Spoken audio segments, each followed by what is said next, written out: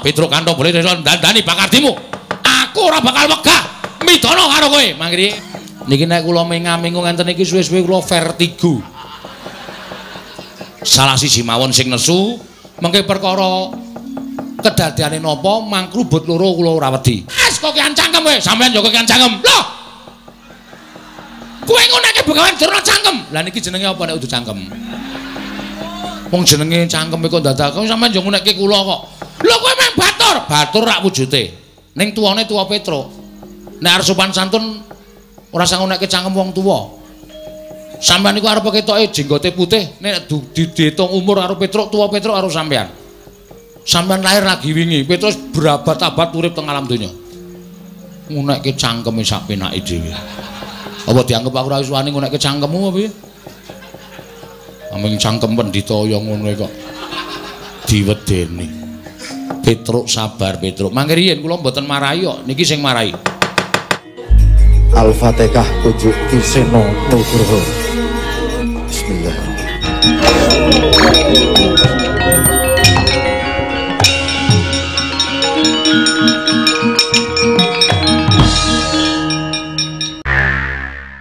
Oh, nun nun nun inggih. Diweji semban kula, pengayoman kula wonten ing Madya padha prapting delahan. Wanter sabda pangandika paduka Gusti kula inggih sinuwun. Miji dhateng abdi kepatihan.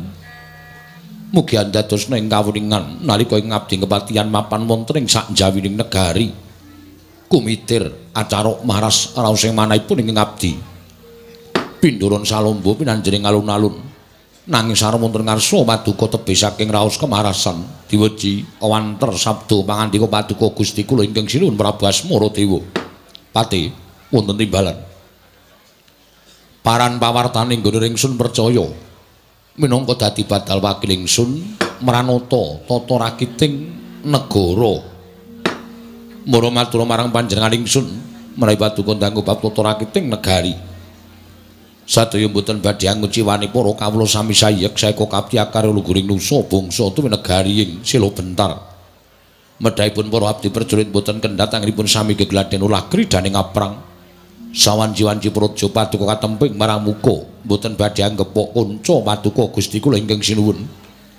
Ing abdi kepatihan remuk kasawurna putung sumangga kabandemna diweji semban kula. gawe bombong penggaling sun ora liwat pakaryan ing utama tindakno selawase lan kaprayogakno nggone rong adem ngarsaning sun pate kawula non non inggih diweji sampun boten kirang prayoga ingkang kula ngabiyantu ngersa maduka Gusti kula ingkang sinuwun aja ning padha saur manuk jenenging Snadya Manem Brama marang rawuhing priyagung priyagung ing padha rawuh ana ing Daturya negara ing Sila Bentar Purbawasisa wonten asta paduka Gusti kula ingkang sinuwun. Kula semanggaken paduka Gusti kula sanata patih ya. Kula nuwun sewu. Sampun kinten kula menika tumambuh yekti sawek sepisan menika kula wanuh. Menawi asmanipun mbok menawi kula mboten badhe lepat. Menapa kepara saestu ingkang sampun kepareng lenggah wonten ing datur ya negaring Sila Bentar menika menawi boten klentu ingkang kondang ngumandang ngebaki jagat panjenengan Sang Tapa Begawan Durna. Kula nuwun sewu penemban. Menapa lakar kleresan mekaten ingkang dados saturipun ing abdi pun Asmara Dewa. Gandhak bleguduk sualu gembol, sumorante, sumorante, hawela, hawela. Kula nuwun inggih, Nger. Res menapa dados sabda pangandika paduka anak Prabu Asmara Dewa. Kula menika pandhita ing Sukalima. Wonten ingkang sudi mestani dhateng kula, kula pun begawan Durna. Wi ladalah jagat Dewa Bathara. Menawi mekaten persasat negari kula menika pikantuk kanugrahan dene namung sak negari alit teka karawuhan begawan Durna ingkang satuhu kondhang. Wonten ing jagat pundi kemawon sami priksa beli panjenengan dika menika satunggiling brahmana ingkang lantip panggraitanipun ingkang sampun buntas kawruhipun penemban matur nuwun matur nuwun. Sanget andadosaken bombong raos sing manahipun ingkang bapa ing Sukalima dene samangke kula saged sak pejagong lan paduka anak Prabu Asmara Dewa tumrap ingkang bapa ing Sukalima menika gesang wonten ing Madyapada menika menawi jembaraken pasrawungan menika mujudaken satunggiling kesugihan ingkang boten saged dipun ukur mawi menapa kemawon, Ger. Leres penemban. Nanging saderengipun menawi kepareng kula ngaturaken pasgan Panakrami kunjuk ngersanipun Sang Topo Begawan Durna ing Sukalima. Kula tampi, kula tampi. Akarya bombong raos sing manahipun ingkang Bapa. Namung kemareng kula ngaturaken pudya pangastawanipun ingkang Bapa kunjuk ngersa paduka anak Prabu Asmara Dewa. Kula cancang pucaking weni dumawahing wijang urma keting werdaya. Saestu andadosaken cahya nur cahya daging rakayuwanan. Mugi kepareng usum ingkang sawetawis. Menawi boten klintu ingkang andherekaken Sang Tapa Begawan Durna. menika kula ugi nate mireng asmanipun nanging nembe sepisan menika kula sak pejagung menapa paduka menika Nalindring Mandura. Nalindring Mandura ingkang jejuluk Prabu Baladewa Sinuwun jagat wasisaning Bathara Wayapura jagat Pathik Indra Jaladewaku. Rama Prabu kasinggihan mekaten. Kula menika Nalindring Mandura pun Prabu Baladewa. Wih ladala inggih inggih. Matur sanget panuwun ingkang tanpa pepindhan. Dene jengandika anak Prabu Mandura kepareng rawuh wonten negaring Sila bentar mriki. Awrat-awratipun nderekaken dhateng Bapa Begawan Durna. Anggenipun sampun kepareng sowan wonten negaring Sila bentar. Kepareng kula ngaturaken salam taklimipun ingkang putra ing Mandura kunjuk ngersanipun jengandika Kanjeng Rama Prabu Asmara Dewa. Kula tampi andadosaken suka birawaning manah kula nggih mboten langkung kaskicakno anggen jengan dika lenggah anggir baladewa. Sampun boten kirang prayogi anggen kula ngabiyantul ngersa paduka Rama Prabu Asmaradewa ndadosaken kejut raos sing manahipun ingkang abdi dene namung sak negari kula kemawon kerawan para sepuh para minulya. Ing ngriki lenggan menika kepareng tedhak wonten negari ing sila bentar. Nuwun sewu peremban menapa dipun keparengaken kula badhe nyuwun dawuh menggah menapa ta wigatosipun dene jengandika Sang Tapa Begawan Durna rawuh wonten negari ing Sila Bentar. Upami kepareng kawedharing kathah tumunten kababarna nanging menawi wadi tumraping sangganing para nayaka miwah para punggawa. Monggo kula dherekaken manjing salebeting kedatun pepanggihan catur netra kelawan ingkang putra pun asmara dewa penemban sanget ngaturaken genging panuwun ingkang tanpa pepindhan, Ger. Dene mekaten wiya sing pangandika paduka andadosaken tentrem raos manahipun ingkang bapa ing Saka Lima. Estunipun anggen kula sowan menika sepisan. Kula menika jejeripun Brahmana. Jernyatanipun pandhita menika kedah jembar pasrawunganipun. Nyatanipun nadyan nembe sepisan menika kula sowan wonten negaring Sila Bentar mriki tanceping kekadangan paduka anak Prabu Asmara Dewa. Kinten kula kadidene sampun sarawong pinten-pinten taun. Menika ndatosaken bompong raos sing manahipun ing bapa ing saka lima nggih. Matur sembah sewu nun tanpa pepindhan penemban. Ing mekaten daya-daya kula nyuwun dawuh. Menggah menapa to sababipun dene paduka kepareng rawuh. Nah, menika estunipun sowan kula mungkin mboten saking pikajengan kula piyambak. Namung kula menika dapur dipun utus. Inggih menika pun anak Prabu Duryudana sesembahan kula ing negari Ngastina. Sumados kula angulari wonten pundi dunungipun negaring Sila Bentar. Keparenging dewa kula saged pinanggih praja ingkang sinebut Sila Bentar lan sakmangke sampun saged pepanggen lan paduka anak Prabu Asmara Dewa. Ing mekaten daya-daya kula aturi paring dawuh. Menggah menapa to sababipun dene jengandika diutus dening Sinuwun Prabu ing Astina. Sinuwun Prabu Duryudana supados rawuh wonten negaring Sila Bentar. Menapa dipun keparengaken Radi Mingset kula ngabiyantur ngersa paduka. Sampun ngantos duna dungkap panampi paduka anak Prabu Asmara Dewa. Kula sumanggaken kula sumanggaken bapa penembaning Sukalima Sang Topo Begawan Durna. Hendra ingkang puspita rum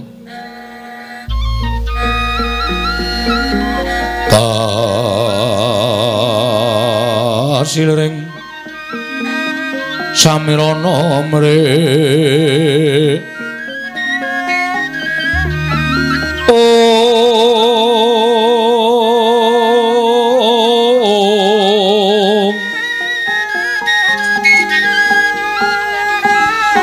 sekar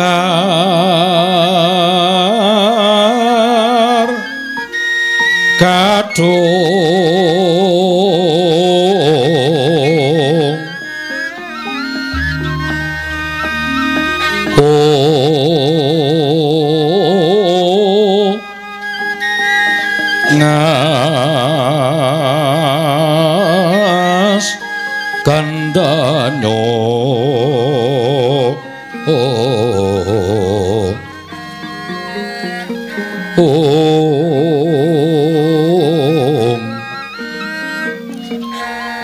Maweh raras retnaning driya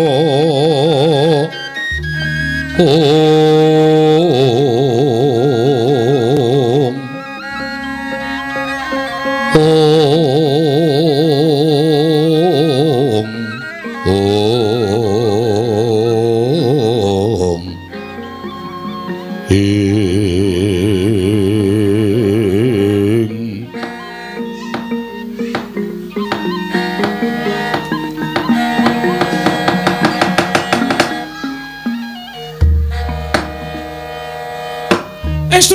Mekaten, nggih. Sewanipun ing ping 5 wonten negaring Sela Bentar menika mboten sanes kejawi namung badhe nyuwun kawelasan dhateng Paduka anak Prabu Asmara Dewa. Magepokan kalian kawontenan negaring Ngastina. Inggih menika ing dipun lampahi wayah kula pun Lesmana Mandra Kumara. Kancarita anak Prabu Duryudana menika bingung bingleng kenganglangan penggalihipun krana nampi pamutahipun atmajanipun inggih menika pun wayah kula Lesmana Mandra Kumara. Kacarios Lesmana menika gandrung-gandrung kapirangu, kapandhuk beda ring katresnan. Monggo sareng dipun dangu dening anak Prabu Duryudana, Lesmana menika walaka bilih gandrung kalian putri saking negaring Sela Bentar, atmajanipun Sang Prabu Asmara Dewa. Inggih menika ingkang pewangi Dewi Asmarawati. Kula nuwun sewu, Nger. Menapa kepara nyata bilih panjenengan menika nggadahi putra-putri ingkang ibaratipun sekar menika sampun ambabar gondo arum. Wonten negaring Sila Bentar menika. Jagat wasisaning Bathara Wayaptura jagat. Ilah dal. Menapa ing dipun dawuhaken Sang Tapa Begawan Durna menika apan kepara saestu? Oh menawi ngaten cocok cocok. Tegesipun Lesmana menika mboten damel-damel suraos. Utawi mboten damel-damel anggenipun gandrung kaliyan setunggiling wanita. Nyatanipun sareng kula upaya pinanggih negari Sela Bentar lan saged pinanggilan paduka sinuwun Prabu Asmara Dewa ing mekaten samangke kula menika sowan minangka wakilipun anak Prabu Duryudana angebun-bun enjang jejawa sonten. Sowan kula ngemis ngertos paduka anak Prabu Asmara Dewa wonten suka lilaning penggalih. Ingkang putra-putri pun Dewi Asmarawati badhe kula boyong wonten negari Ngastina sampun kula cawisaken jempana joli-jolan pamboyong ing temanten putri. Samangke badhe dipun dhaup dening pun wayah kula Lesmana Mandra Kumara nuwun sewu sinuwun menapa ing dipun dawuhaken bapa penemban durung menika apan kepara saestu? Kula minangka dados saksi tama. Nalika semanten ingkang abdipun Baladewa katimbalan sowan wonten gari Ngastina lan nampi dawuh pengdianipun Yai Prabu Duryudana supados kula nderekaken jengkaripun bapa Begawan Durna. Sowan wonten negaring Sela Bentar. Ingkang wigatos dados saksi tama badhe aturipun penemban Durna menika ingkang kunjuk dhateng paduka Gusti kula ing Sela Bentar sanget boten nginten. Ing atasipun anak kula Lesmana Mandra Kumara menika pinanggih kaliyan ingkang putra pun Dewi Asmarawati menika namung medal margining pasumpenan. Ewa dene sakmangke kababar kasunyatan. Wonten praja ingkang winastan Sela Bentar. Lan sakmangke kula wonten sukalelaning penggalih. Mulung penggalih paduka sinuwun Prabu Asmara Dewa keparenga sakmangke maringaken dhateng ingkang putra sanget mesaken dhateng kawontenanipun Lesmana Mandra Kumara Atmaja Nalindra anggenipun gandrung-gandrung paribasanipun ngantos kados dene tiang bambung tulut ngulurung. Mila sinuwun kula suwun kanthi sanget kepareng paduka maringaken dhateng putra kula boyo wonten negari Ngastina. Menika saestu lho, Nger, menika leres. Mboten kula kok damel-damel. Lesmana menika nuwun sewu nadyan Atmaja Nalindra ning mboten nampi kabejan sekedhik kemawon. Lesmana menika putra Nalindra ingkang boten nampi kabejang sekedhik kemawon. Gesangipun menika tansah lara lapa, langkung-langkung babakan pawestri. Sampun wong salwastra Lesmana Mandra Kumara menika badhe kepengin dhaup kalian putri Nalindra ewadene gagar wigar tanantuk karya. Putri Madukara ugi gagar, putri Ndarawati ugi gagar wigar tanpa karya. Kathah sanget putri ning Brahmana ingkang dipun gaya dening Lesmana ewadene Lesmana menika ugi gagal. Mboten saged kasembatan dhaup. wong sal wangsul wong sal wangsul gayo putri tartemtu cabaring damel. Oh mesakaken sanget ger. Malah do nalika semanten menika mung kepengin rabi sinden we ora kelakon. Cobi monggo wis layang-layangan. Wis WA WA-anan eh wadene kok meso gagal? Lesmana menika setunggiling putra Nalendra ingkang mboten nampi kapejan sekedhik kemawon. Mila kula suwun kanthi sanget. Samangke menawi jenengan diku anak Prabu kepareng maringaken ingkang putra. Tumuli ingkang putra kula boyong wonten negari ing Ngastina. Lajeng kula jawupaken kalampun Lesmana mantra kula supados saged sarambut sarimbit. Sarimbit. Kalian temanten kakung Inggih. kula mangertos kula mangertos Bapak Penemban oh mesakaken ger mesakaken. Monggo lesmana menika sampun lulus sanggenipun mapan wonten ing bangku pasinaon. Nyatanipun ugi mboten wonten ingkang purun dipun rabi dalem lesmana lesmana menika sakmenika sampun sarjana ekonomi. Menapa ngaten? Nggih nggih ning nyatane ya wis ora gelem di pesa-pesa menika lho sialipun lesmana menika mapan wonten ing mriki menika. Mila nger nuwun sewu menawi jenengan dika maringaken dhateng Kang Putra. Oh kula sangat ngaturaken panuwun ingkang tanpa pepindhan. Panjenengan badhe dipun ninggahaken derajatipun. Nuwun sewu panjenengan menika namung Put Nalendra alit. Negari menika namung negari alit menawi jenengan dika bebesanan kalian pun Prabu Duryudana Nalendra ingkang kuncara Hanjayang Bawana jagat menika ngantos kebrebeken dhateng mandangipun Prabu Duryudana. Sami kemawon panjenengan menika dipun angkat derajatipun dados besanipun Nalendra ingkang sugih bondo bandu sugih bondo tegesipun sugih brana picis sugih bandu tegesipun Nalendra ingkang abebala raja cobi kula aturi menggalih negari menika mangke dipun bongkar. Dipun bongkar. Lajeng dipun dantosi ingkang langkung sae kula pitados panjenenganipun anak Prabu menika nadyan Alendra nanging kula ngertos gadah kreta kencana namung setunggal. Nggih ta? Prabu Duryudana menika gadah kreta kencana cacahipun 117 mangke kagem panjenengan selangkung. Mangke kagem panjenengan selangkung. Anak Prabu Duryudana mboten badhe awel menawi peparing dhateng besanipun. Nggih. nanging kula nuwun sewu.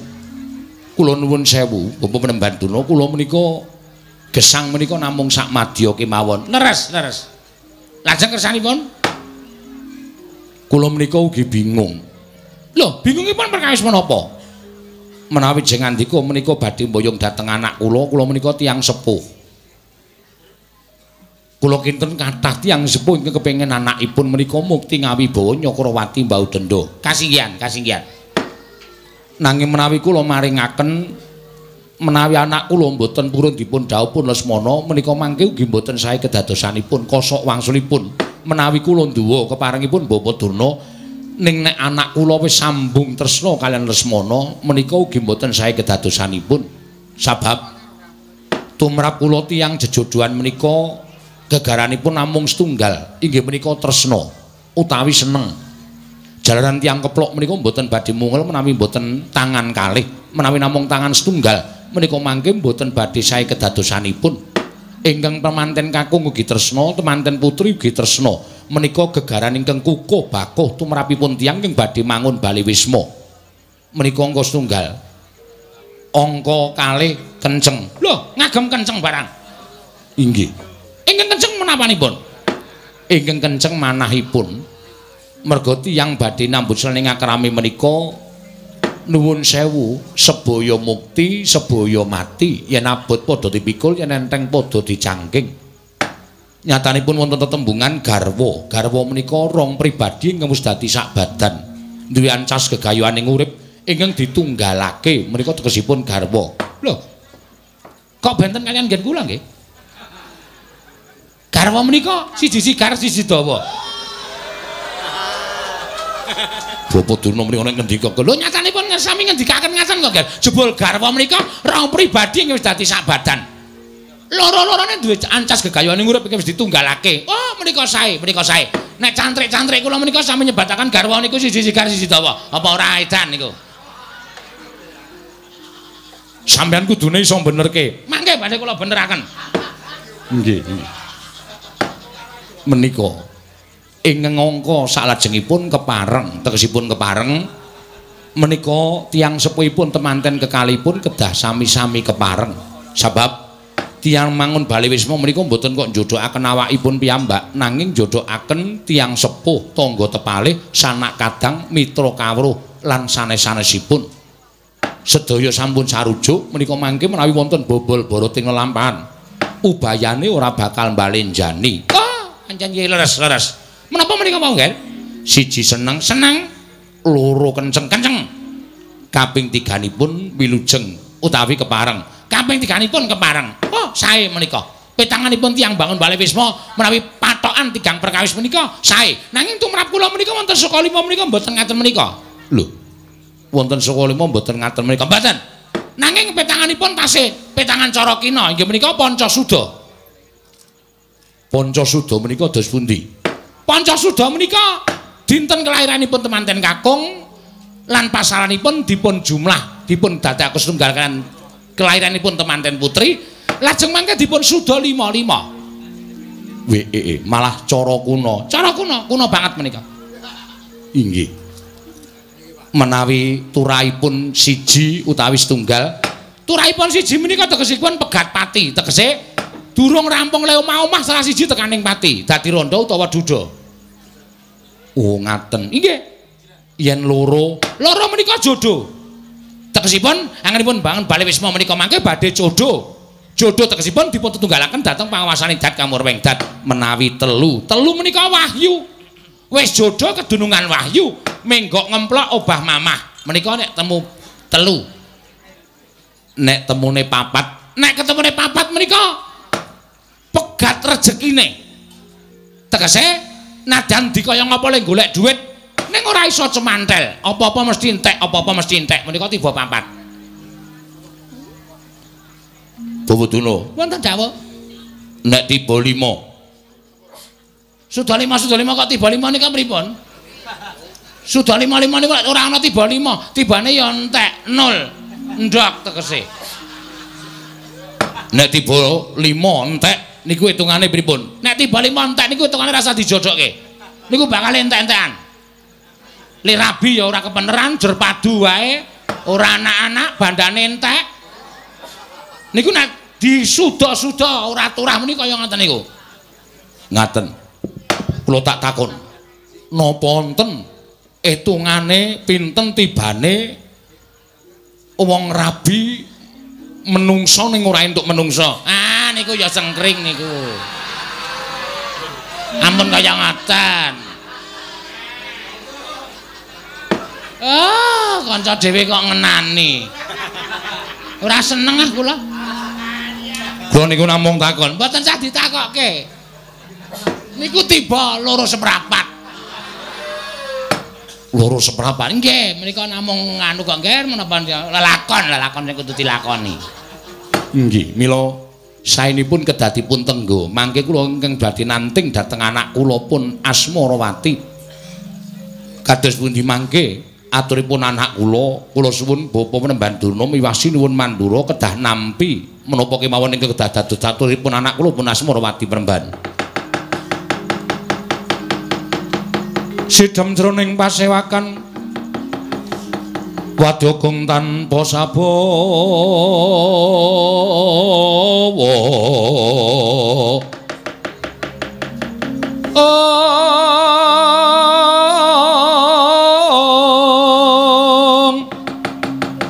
Kapraban dening sang nalendra tama. Mangu-mangu mangonengi lerwu sing duka cipta berbuti mandana raras. Ing ong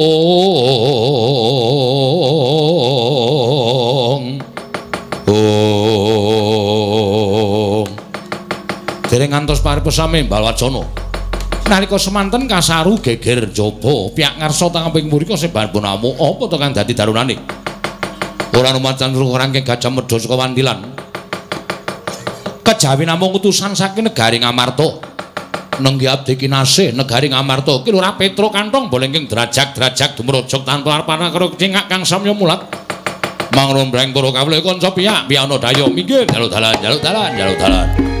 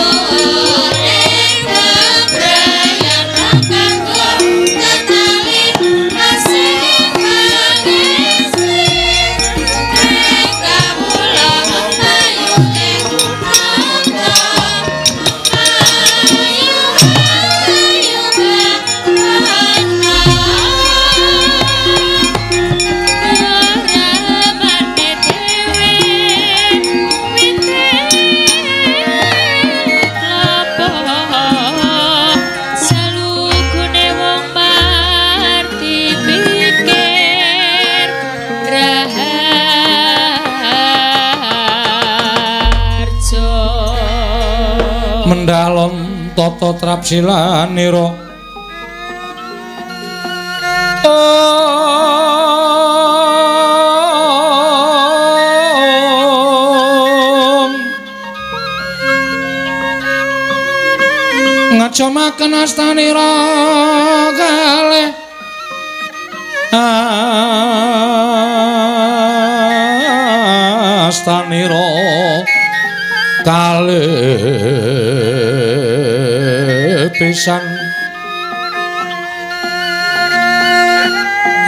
yen ngandika magawe apranta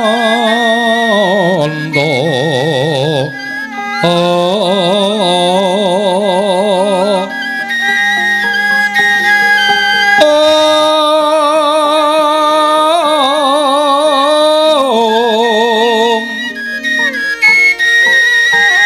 ngandika magawe apranta jagat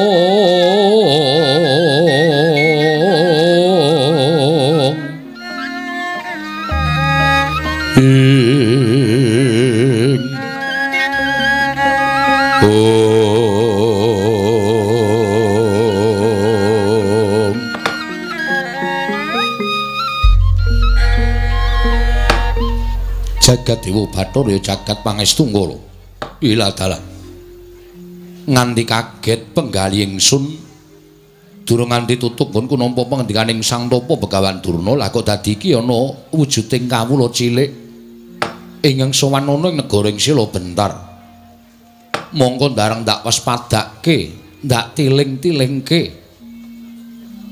Iki kok kaya tau ngerti nadyan mung ana gambar-gambar sing sok diumbulke cah cilik-cilik kae Nek ora kleru apa iki ingkang arane Petruk ngono kae apa piye? Nuwun amit pasang Kalimantabe tinebene iki lho dene demawaing tawang tuwang. Sinuwun. Leres menapa ing dados pangendika paduka kula menika abdi Petruk Kanthong Bolong. Eh lah dalah jagat Dewa Bathara. Wela. Disawang pasuryane wae wis gawe seneng. Ing atase ana pawongan kok awake sarwa dawa. Nggih wonten sing cendhek. Iya, Petruk Rarjo sak praptamu. Tansah pinangan ing kawidadan ring sambikala bekti kula kunjuk sinuwun. Iya ya tak tampa pangestuku tampanana. Kula pun dinggo jimat paripin dayana ing kasantosan. Nyuwun pangapunten kula badhe nyuwun priksa menapa leres menika ingkang winastan negari ing Sela Bentar. Awit kula dumugi wonten ing mergi ageng menika wonten gepura lajeng wonten tulisanipun Anda memasuki wilayah Sela Bentar. Napa leres? Iya iki negara ing Sela Bentar Petruk. Wah, lah nah ngaten nggen kula ketayalan kekalangan Malaya persasat ngubengi jagat. Menika mboten sisih panggen kula ngabiyantara wonten sanipun menawi mboten klentu Sinuwun Prabu Asmara Dewa. Iya, ingsun nalindra ing Sela Bentar Prabu Asmara Dewa. Hah, matur suwun, matur suwun. Eh. Sidane ya kecekel anggere wong tak takoni mesti ora do ngerti wong tak takoni mesti udah ora ngerti. Ya karang negara kuwi negara cilik Petruk. Mboten napa-napa mboten napa-napa. Cilik kali gedhe niku gumantung anggenipun ngasta bawat pemerintahan duwe negara gedhe ning nek kawulane pating slebar ora karu-karuan kanane rusak niku ya ora bakal apik. Ning duwe negara cilik nek iso gawe tentrem para kawula pekasan mujudake kawula ingkang ayom ayem tentrem kanane gemah ripah loh jinawi menika malah langkung prayogi. Yo bener pancen mengkono Petro. Petro kowe padha slamet sak praptamu Petro? Lho menika kados wontenipun Begawan Duna heeh. Aku pepundhanmu ing lima. Weh la wilujeng Mbah bekti kula punjuk. Tak tampa tak tampa pangestuku tampan ana ya Petro? Lho nggih. Karo sapa kowe? Piyambak. Lho biasane ngejak Bagong lagi mboten cocok lahir batin kula karo Bagong. Perkarane apa sing jeneng kowe sedulur padha-padha anake Semar kok ora cocok? Mboten wonten perkara napa, wong ati niku ora iso diapusi, nek lagi ora cocok ya ora cocok, nek lagi cocok ya weh persasat ora iso genggang sarikma. Nek lagi ora cocok ya kula niku omongan wae moh. Oh ngono. Nggih. Ning ora ora ana apa-apa ta Petro, mboten wonten apa-apa. Bagong ya ya slamet wae kakangmu gareng ya slamet pangestunipun penemban wilujeng. Prayogakno nggonmu lungguh. Inggih sampun boten kirang prayogi peremban. Eh, Petruk Kantong bulung mundur arep sosok tamu. Wah, ngendikane kaya ngene iki mesti sinuwun Mandura. Yo. Aku bendaramu Mandura. Wilujeng bekti kula kunjuk sinuwun. Yo, tak tampa. Pangestuku tampanono. Kula pun dinggo jimat paripin dayana ing kasantosan. Pono kawan. Ana wigati apa dene jeneng sira ngabiyantara ning ngarsaning ingsun? Apa saka karep sira pribadi apa pancen diutus dening kepundenmu Pandhawa? Sadèrèngipun kula matur kepareng kula ngaturaken tebah Siti Sekul bidung telin rong klapa. Ento ambek bilih wonten lupat kula ngen kula munjatur sa paduka Sang Nata. Ora dadi ngopo Petruk matur sembah nuwun. Critanipun Petruk nika nadyan wujuding mung loro saudon telu saurupan. Ning nuwun sewu dalu menika kula dados piyayi. Lho dadi piyayi lire piye. Mergi sowan kula menika mboten saking pikajengan kula piyambak. Nek saka karep kula dhewe tetep Petruk niku dadi wong kere, tetep wong ora duwe, ya mung sak batur.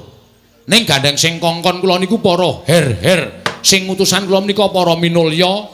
Ing atase Petruk menika mung kemono kawan kok dipercaya karo para her, para minulya. Niku tegese kula kecipratan derajat pangkating sing utusan kalih kula. Sing utusan sira sapa?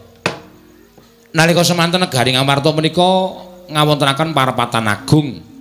Dedrek rembak boten sanes kejawi namung badhe nglamar putra putri negari ing Selo Bentar atmajanipun Prabu Asmara Dewa ingkang wangi Dewi Asmarawati. Nalika semanten sinten ingkang dipun dawuhi boten sami ker boten sami sagah krana sami dereng ngertos papanipun negari ing Bentar.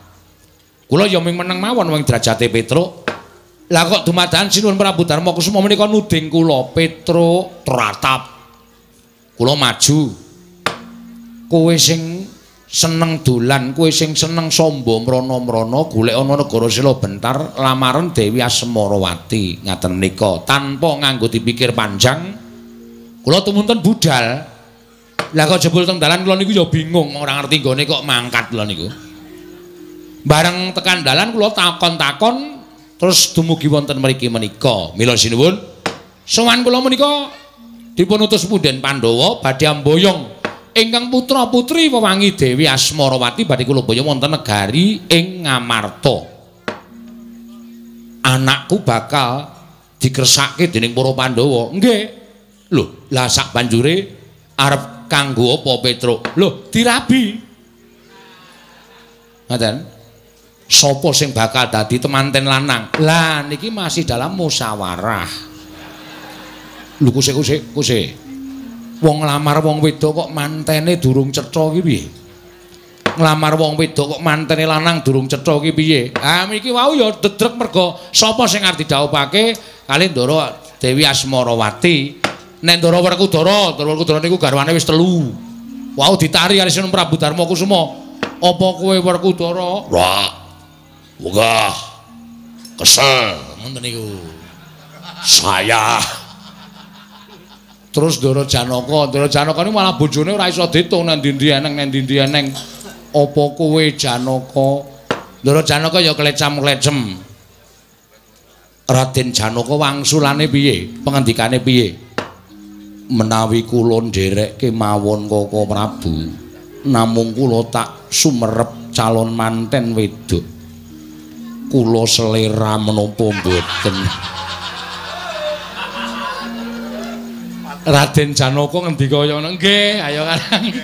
Nika niku karepe ya cocok karo atine, cocok karo rasane lagi dipek. Ayo angel. Iya, iya. Lah ngono niku mboten wonten sing purun, terus Petruk didangu ning Ndara Puntadewa. Apa kowe truk ngoten niku karo mesem. Kula nggih ngerti nek Ndara Puntadewa niku gojek. Kula muni, ah mboten kula niku arep nggo ragat apa, nggo nyicil mendring bendina wae kangel ora jamak-jamak. Kok malah arep rabi meneh kurang gawean. Lah terus arep dirapeki karo sapa? Perkara niki mengke gampil. Ning sing jelas niku rawuhipun Ndara Asmarawati ingkang putra menika wonten negari Ngamarta, tartemtu mangke mboten badhe dawuh wonten juranging kasangsaran. Ning badhe dawuh wonten juranging ngabagyan. Lha saking menika Gandeng Petruk ingkang dipun utus samangke kepareng nggalih padosinipun Prabu Asmaradewa menggalihaken aturipun Petruk kaparingaken menapa mboten menika gumantung dhateng panjenengan. Menawi kaparingaken ngaturaken panuwun ingkang tanpa pawindhan nek mboten sebabe napa jarane napa ndara-ndara kula Pandhawa menika musti kaning satriya. Sapa to sing ora tepung karo ndara Pandhawa? Ya ing bab samu barange ning apike ndara Pandhawa niku kondang perkara becik lan kelakuane sing apik. Mboten kok kondang perkara ala mboten. Dados ingkang putra dipun pengku dening para Pandhawa menika mangke sami kemawon panjenengan Sinum Prabu menika pikantuk kanugrahan. Krana pikantuk mantu salah setunggiling piranganipun Pandhawa pepunden kula Pandhawa. Iya. Iya Petruk, iya. Dos pundi kula namung kantun nenggo paringaken dhateng kula menapa mboten kula namung nenggo sinuwun Prabu Asmaradewa. Menawi mboten nawa sampeyan panjenengan mboten welas kali kula. Monggo kula dipun kanteni Purbawasesa. Petruk Kowe tak kongkon ora entuk gawe bali tekan negara Ngamarta tak tugel gulumu, Barataya. Napa mboten rekoso? Kula niku wis mangkat blas ora disangoni. Tekan riki mengke ora entuk gawe mulih. Tekan negara Ngamarta takoni Sunan Prabu Darma Kusuma piye Petruk entuk gawe apa ora? Mboten sinuwun Werkudara idaken cengele Petruk. Nyet. Kilat kula melet teleler. Mudar. Panjenengan ora welas kali kula ya welas karo anak bojo kula, anak kula isih cilik-cilik, bojo kula isih cilik-cilik. Eh anu apa? Apa bojo kula? Iki nek omong sembrono, kula niku kula sembrono ya, omong tembung niku sakarep kula ya. Iya, iya Petro. Nggih, lha nyuwun ngapunten. Bojo kula ya bar-babaran nganti kula mati mergo kula ora entuk gawe napa mboten rekoso. Petro, wonten dawuh? kepiye nggonku bakal paring pangandikan kelawan jeneng para. Sebabe ewu kaya penggalihku. Jalaranipun kowe ngerti Sang Tapa Begawan Durna rawuh mrene sekalian kelawan Nalindring Mandura uga ngayunake anakku Asmarawati. Weh weh weh. Niki Iya. nglamar Dewi Asmarawati. Iya, pancen mengkono. Ajeng didhawuhke kalih anak Ngestina, putra Ngestina ya kuwi Raden Lesmana Mandra Kumara Petruk. We e e e e. Mangkiriyen, mangkiriyen sabar, sabar. Mangane sampean mengke kewirangan kula aturi sabar. Sabar piye? Mergi panjenengan nek terus paring pangandikan mergo kula mung derajate ngaceplik niki piyayi-piyayi terus panjenengan ngebutke piyayi maringaken Kang Putra dateng Begawan Durna kula nuwun sewu lho sinuwun kula nuwun sewu sing jeneng wong tuwa niku pengin anake seneng. Sing jeneng wong tuwa niku pengin anake mulya lahir lan batine. Lah iya mesine kaya ngono. Oh nggih. Ning mboten nonton sing jeneng wong tuwa kok nyengsarake anake niku mboten nonton. Sewu siji wong tuwa sing tegel weruh anake sengsara luwe-luwe weruh anake urip. Ingkang kebak kasangsaran menika mboten badhe wonten klebu aku pengen anakku kuwi seneng lahir lan batine. Lah nek putra panjenengan kepengin seneng lahir lan batine mang paringke kura. Dawuh kalih piranganipun para Pandhawa salah setunggal. Niyan panjenengan menika maringke ingkang putra menika kalian Begawan Durna. Wah cilaka cilaka. Lho kok cilaka tegese? Sampean pun tau ngerti Lesmana napa dereng Lesmana Mandra Kumara putra Nalindra Ngastina. Nek jenenge aku wis ngerti, ning nuwun sewu, pasuryane aku durung ngerti. Nek pasuryane ya lumayan. Dedeg piadeg ya entuk, nuwun sewu rupa ya entuk. Ning nuwun sewu, uteke. Lho, kok kok nggonmu kasar uteke? Uteke Lesmana piye? Hmm. Hmm piye? Iki lho, hmm. Lho tegese piye? Nuwun sewu. Kula rada maju ndak mireng kali sing do kawogan nggih. Iya. Apa? Lesmana ndamu sentir. Waduh cilaka iki. Rada majeng mulih nggih, rada maju. Iya. Rada kenter. Kenter. Hmm. Pekok. Ampun suruh-suruh, pekok. Nggih. sama nek prisa mesti wah mesti malah kemekelen anak ratu kok saben dina melu parkir ning pasar niku nek mboten ngono mboten ngono nganggo rompi terusane parkir ngono. Prit prit prit. Ngoten niku lesmana niku. Mongko nek bengi nyuluh kodhok. Lah. Niku kula kerep. Lho kok kowe ngerti? Lah kula kerep ngancani kok. Nek ora ndek kanca mesti ngebel kula. Petro aku kancane nyuluh kodhok. Kula niku ya seneng mawon wong kula ngancani nyuluh kodhok niku ya dikai dhuwit dinai Brono Picis. Lah kula niku wong ora duwe dikai Brono Picis ya manut wae nek didhawuhi kok ya. Lah napa sampeyan ajeng ikhlas? Napa sampeyan ajeng seneng? Putra panjenengan sing kondang ayu nganti jagat keberbeken kok meng dipek karo wong pekok. Nuwun sewu lho niki. Kok meng dipek karo wong kentir? Ya bener, Brono Picis pirang-pirang, derajat pangkat pirang-pirang. Ning apa wong kabagyaning batin menika mung cukup diwenehi derajat pangkat, diwenehi Brono Picis? Mboten. Kabagyaning batin menika nadan kekurangan derajat pangkat, kekurangan Brono Picis, ning nek uripe seneng, uripe kepenak, tresnan tintresnanan, sih sinian, niku bakal uripe kepenak. Arep ming sarwa cukup. Ning arep kebyukan Brono Picis, derajat pangkat dhuwure sondo langit. Nek ming gerus teng ati, lho pripun? Monggo lesmana niku pendak dina wah nika pancen anak ratu ning kok saking sugihe terus ming ngentek-entekke dhuwit kok. Wong wedok niku diklumpukke teng kasatriyane. Terus nyeteli kok dosa, dosa, dosa, dosa, dosa. Terus do ngomben-ombenan teler. Terus wah wis kaya ngoten niku kula niku kula niku ya sok melu soalé. Angge kok dinggo refreshing ning pisan pindho. Nglumpuk wong wedok banget terus meja kursi disingkirke nyetel tip duduca, duca, duca, eh, kita budel. Ngonten wong nganti wis. Napa kaya ngene iku? Napa niku panjenengan ajeng rumangsa anak sampean seneng? Napa kaya niku ajeng rumangsa anak sampean bahagia? Mboten. Anak sampean malah kaya tiba teng jurange kasangsaran.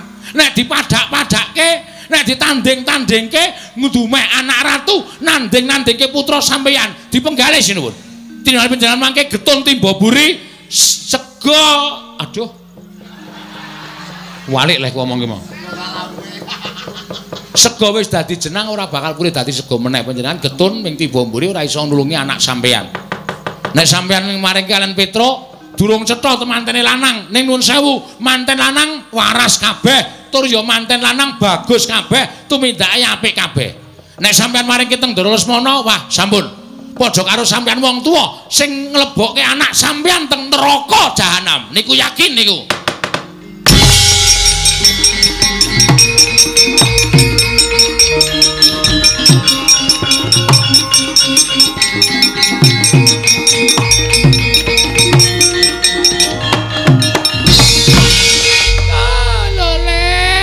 Goncong bleguduk.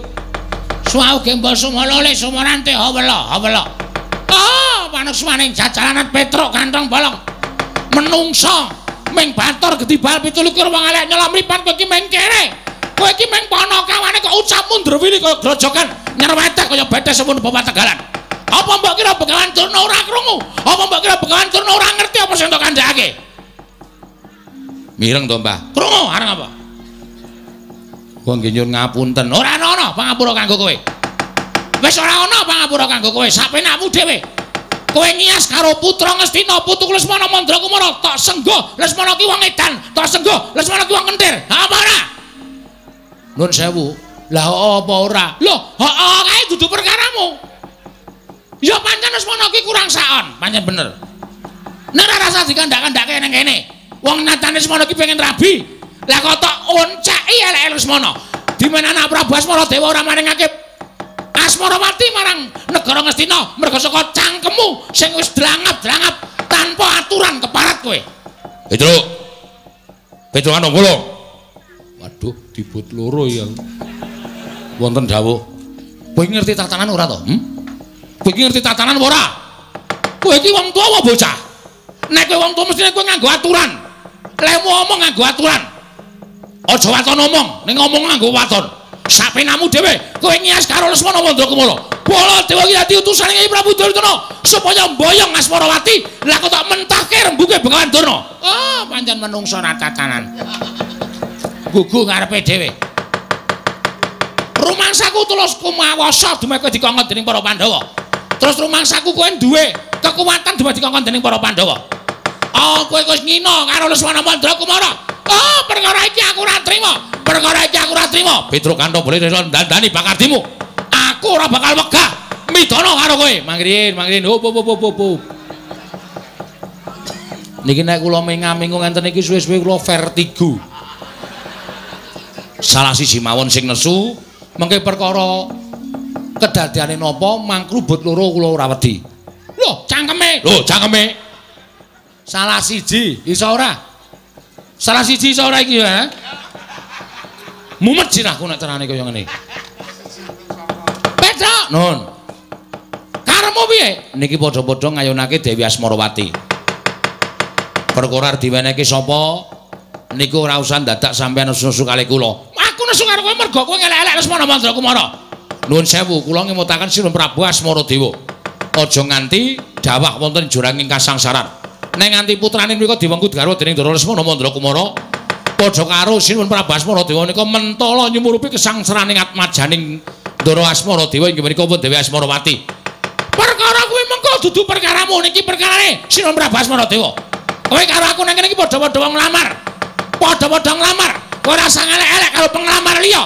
Nuwun sewu kula mboten ngelek-elek ning kula ngaturke napa sing dumadi lan napa sejatine sing lakon. Tur napa sing kula kandhake niku mboten gawe-gawe, niku kenyataan, niku fakta. Lho, iya, ning rasa do ngomong kene kono-kono. Kula ngomongke niku mboten perkara kula ngelek-elek karo sampeyan ning kula ngomongke kalian Sinun Prabu Asmaradewa aja nganti Sinun Prabu Asmaradewa menika nuwun sewu nyatane Sinun Prabu Asmaradewa niku ora kenal karo Lesmana Mandra Kumara. Ora ngerti wujute.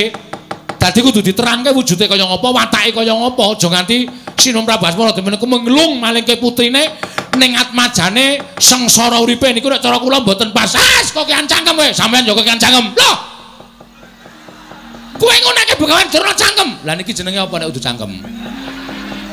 Wong jenenge cangkem kok dadak kok sampean yo nguneke kula kok.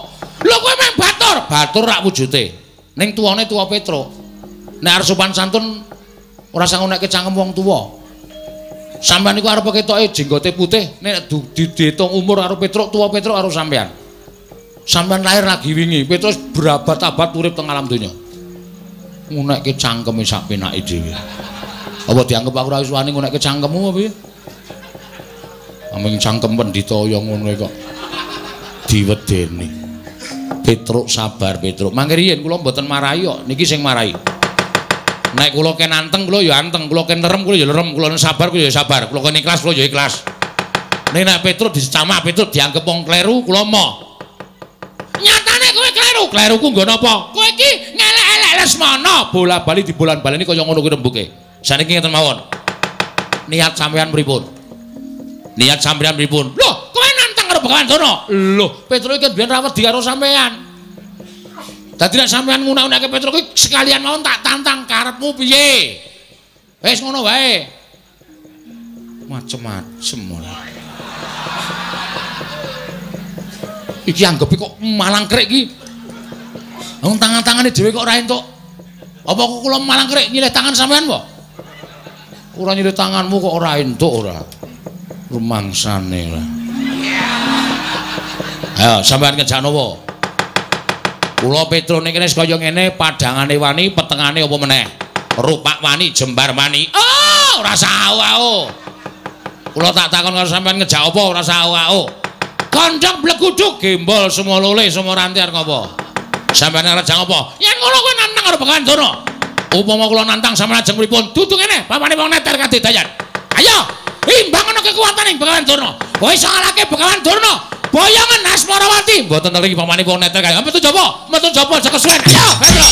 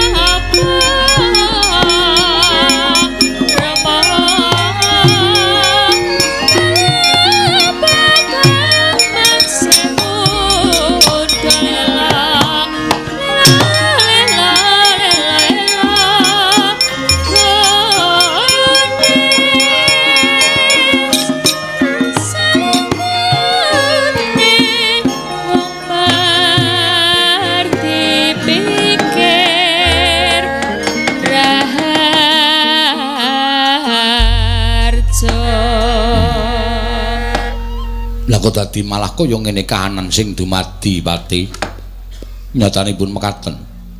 Kula sedaya menika awit kasulistianing warni ingkang putra. Inggih menika pun Dewi Asmarawati. Bekasana karya hujat kang samya tumingal ndadosaken kathah para penglamar penglamar ingkang badhe kepengin amengku garwa ingkang putra. Terus aku kudu piye? Samangke Gusti kula ing sinuwun keparwananting dhateng ingkang putra inggih menika pun Gusti kula Dewi Asmarawati. Sakathahing penglamar menika mugi katuraken dhateng ingkang putra tumunten sinten ingkang badhe kapilih dados guru lakinipun Gusti kula pun Dewi Asmarawati. Ngono ya, Ti. Ih, kasinggan mekaten yo. Yen pancen kaya mengono bubar kang padha sebo jeneng Sunarsa Kundul Medatun.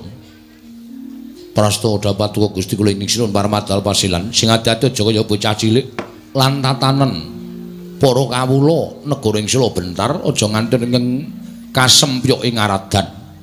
Awit peperangan ingkang dumadi ya kuwi Begawan Durna kelawan Petruk Kantong Bolo. Menawi mbantu dawuhaken badhe kula candhingga jimat.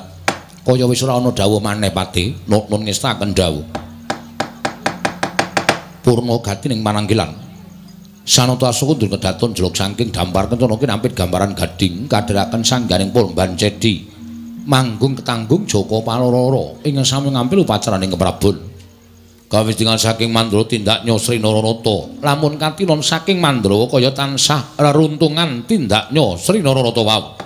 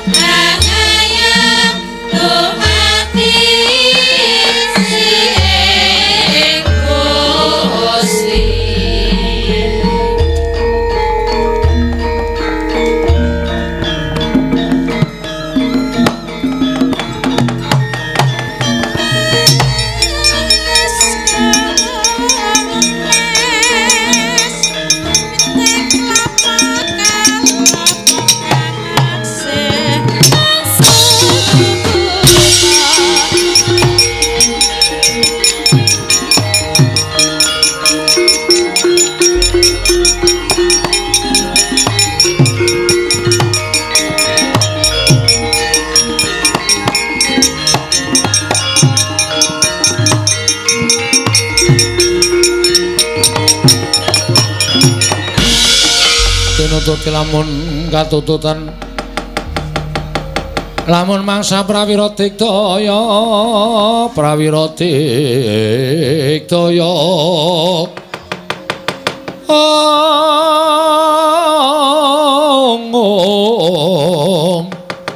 runanggana magawe glari rawang bang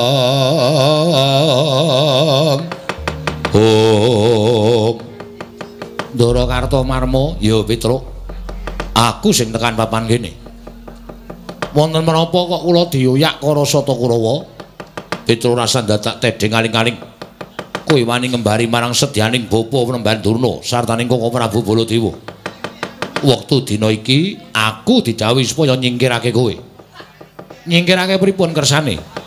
Kowe gelem bali apa ora? Kula pulun wangsul nek kula entuk keterangan babakan Dewi Asmarawati putranipun Dewi Prabu Asmaradewa. Nek kula dereng entuk keterangan tentang Dewi Asmarawati, kula nyuwun pangapunten. Kula kepeksa ora gelem bali. Kowe ora wedi karo Sata Kurawa. Mangke riyen, biyen ra wedi saiki ra wedi. Petro ora tau ora tau wedi karo Sata Kurawa. Mula nek sampeyan ajeng nyoba karo ponakan Petro, monggo kula ladosi. Ning nek mengke Petruk menang karo Kurawa, sampeyan do kepirangan aja nyalah karo Petruk. ora minggat sing arep ing Kartomarma kendarat dening tanganku. Monggo den kula ladosi. Hi merganing patimu. Panggawa tak ayoni Ndara Kartomarma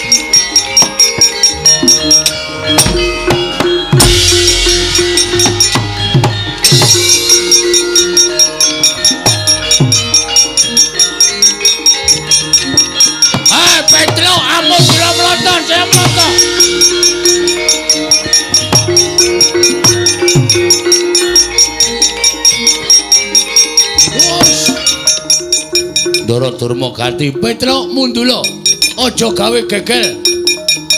Tinimbane kowe dilanjap dening kala Kulawa kowe mundula Petruk aku ngeman karo kowe. Ngeman karo nyawamu. Dek lagi lepudul cilaka cilik lolo gede tekaning pati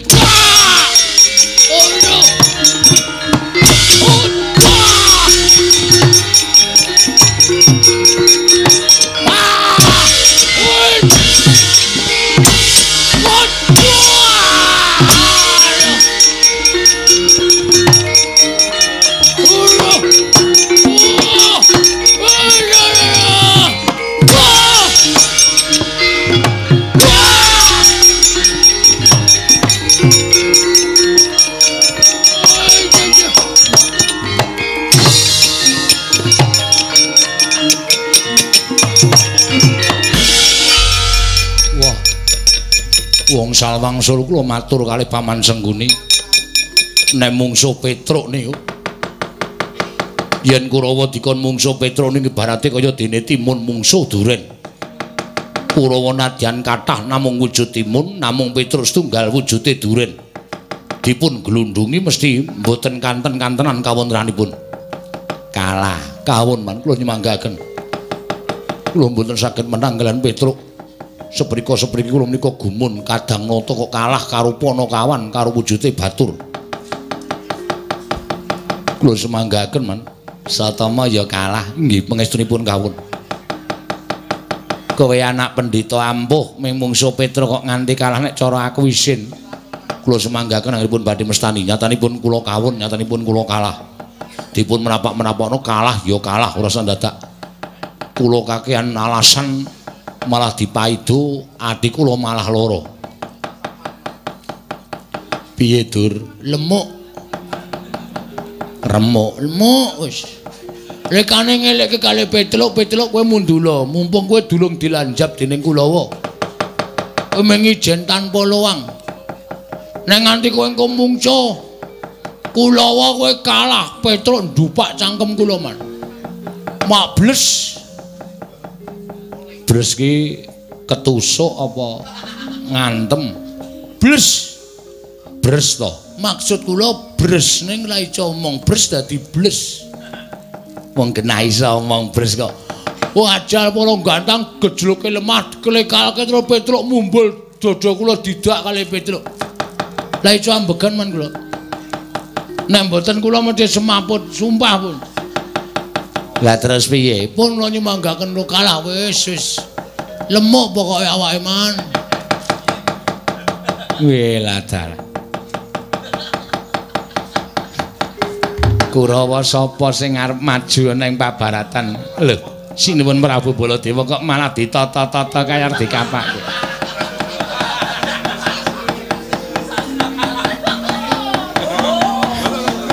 Kurawa Sapa sing arep maju? Watak, watak. Citraksi. Nggih, Man. Arep mungsuh kura Petruk apa? Kupit Petruk kantong bolong. Ora gelem mundur saka negara Sanus niki niki niki ndi, Man? Sila bentar. Sesela bentar. Ngayonake karo As Asmara Semoyo, Asmarawati. Asmarawati. Bebareng mati tak wujuti. Maju ling. Ngono gandhan letan kula.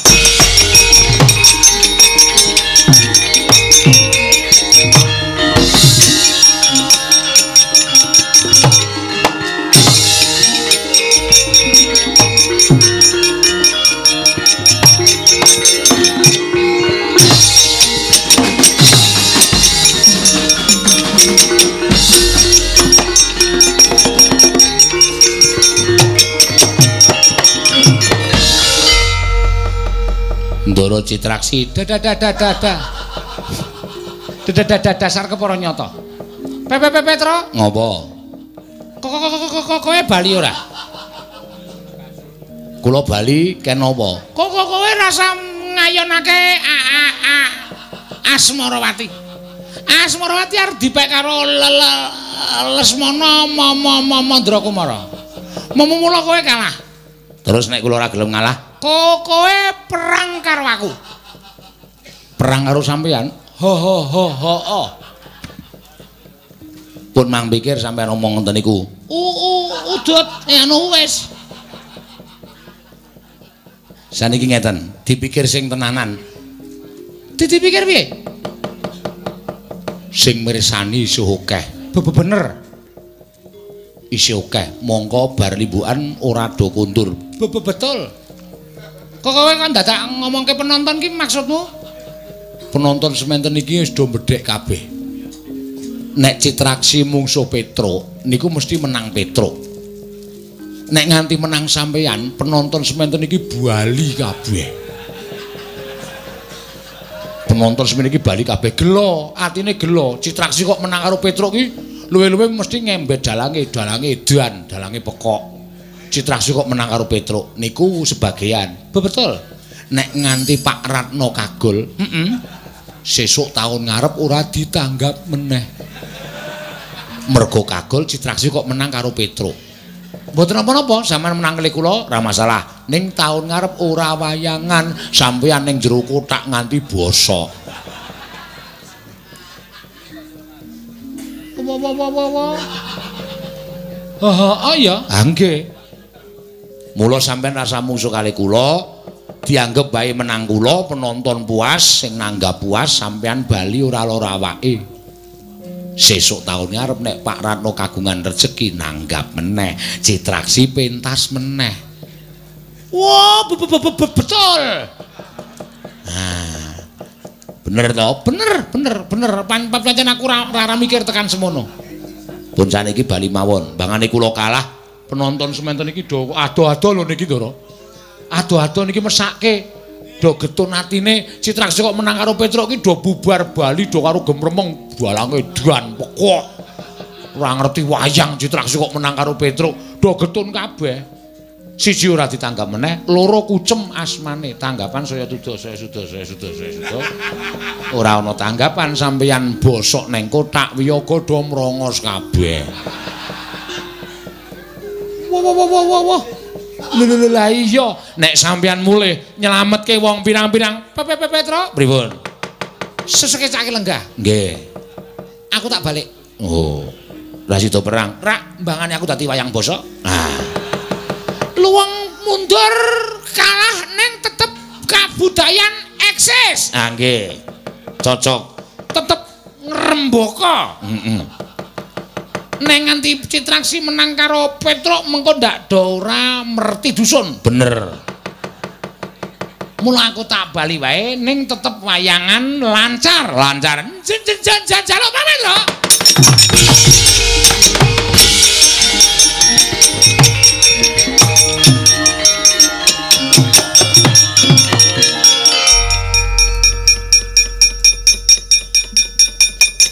Piye, Cit? Wah wah wayangan lancar. Piye, piye? Wah wayangan lancar. Iki ki perkara perang karo Petro kok dadi wayangan lancar ki piye? Nge- Ngeten man, ngeten. Ku ku- kula maju Heeh. ke ke- ketemu kalau PP Petro. PP Petro kula tantang. Ha iya. PP Petro, aku tekan kene arep ngelabrak kowe. Terus Petro omong ngeten niku, se se se se se sa sa sa sapi, Sabar. sabar. Ndodoro citraksi penonton iji akeh. Iki do ngarep-arep perang. Ning nek sampean kok menang karo Petro, kula kalah. Penonton sing do ado-ado do numpak motor ngebit mlaku lan sak piturute niki bali kabeh. Getun. Mergo citraksi kok menang karo Petro. Lho lho, gedene dadi perkara dianggep dalange ora ngerti lakon, dada dalange ora ngerti wayang. Citraksi kok menang karo Petro. Nggih to, Man? Heeh, heeh. Mula mbangane gawe kagol wong akeh, gedhe-gedhene mengko sik nanggap kagol, sesuk taun ngarep rawayangan meneh. Kula karo sampeyan bobo-bobo sok ning kotak. Ora dienggo wayangan. Krikiti tikus. Heeh. Luwung kula bali ning kesenian wayang tetep eksis. Cocok ta? Gimana? Gimana? Kok ana watu ya? Munggo ana watu tak kepruk ndasmu modar. Kowe wong Pangeran Pati Kadanata kok goblokmu. Loh, man man man. Hmm. Diditi penggale. Bangane kula ngamuk Petruk kalah. Sesuk sepi nyenyet ora ana pertunjukan apa-apa. Nggih. Rasulan merti dusun do ora nanggap wayang. Napa sampean gelem nganggur? Iya ya. Sisi sinden gelungane do didol. Heeh. Mergo ora ana wayang. Wiyaga-wiyaga ikete do njamur kabeh do ming do dipepe turut ngarepan. Mergo wayang ora ana mergo kesalahan teknis Citraksi kok menang karo Petro. Kesalahan sedikit membuat rusak semuanya. Nilam setitik susu sebelangga. Ngawur ora. Nek gawe ukara wis apenake dhewe. Nggih-nggih no mboten. Nah iya iya. Wis ana mundur ana minggaten. Lho, ampun Suman, kula niku nggo golek benere kok. Lah iya. Nggih menapa mboten? Ah iya. Awulung kula kalah, ning wayang sesuk tetep ngrembaka. Sesuk taun ngarep Pak Ratno wayangan meneh. Merti dusun tetep jalan. Rasulan tetep jalan. Wayangan tetep eksis. Heeh. Cacat. Ah. Mbembetara kok. Rak. Kukula nggawa rek. Ini mecangkemmu. Kula lara ati. Hah, wong kok dipringgake becik ora kena. Wayangan tetep eksis.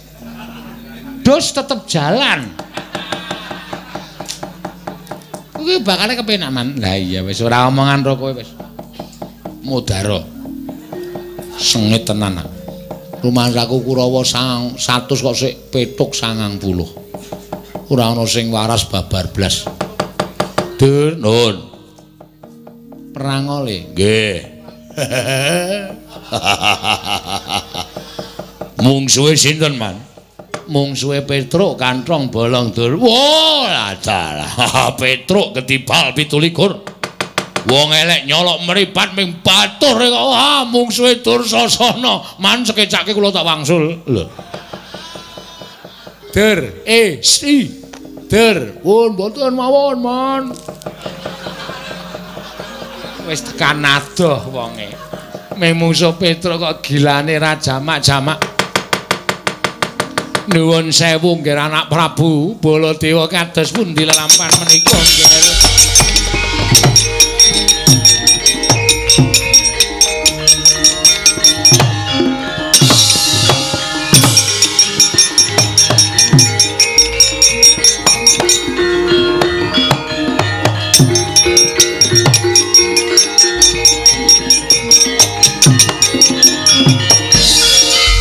Panusmaning jajaran Asukertaning bawana.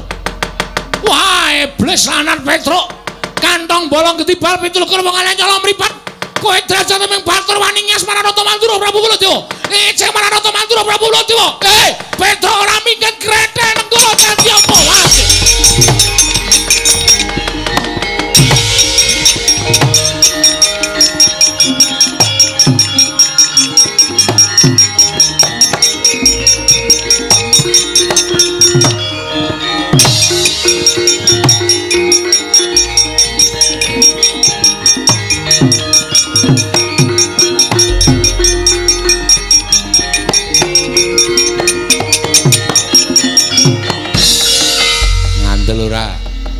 Sing maju rak dudu Begawan Durna ning Durna ngendelke Sinuwun Mandura.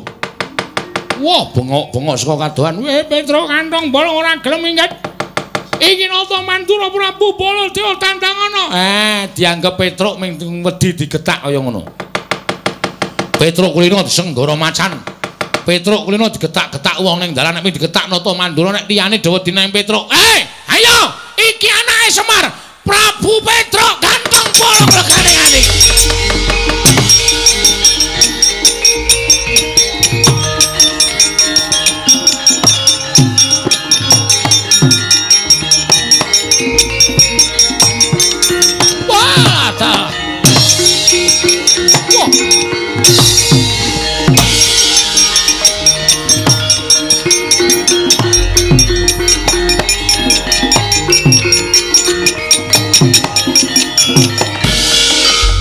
Panusmaning jajalan Asukertaning bawana iblis.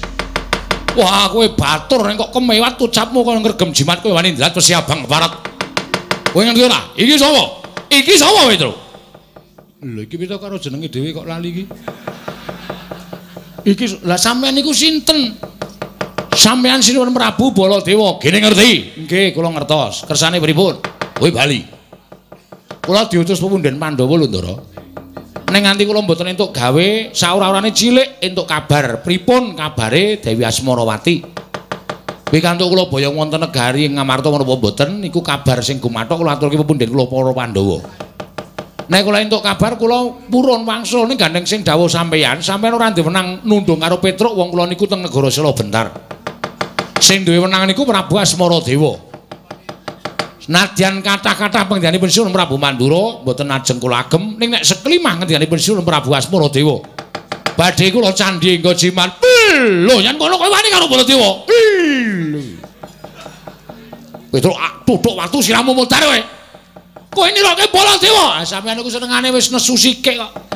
Ora gelem ngrembug kanggo cara bedamen dirembug sarana musyawarah. Ngerti-ngerti anggere ana apa-apa masalah, ana masalah Prabu Baladewa.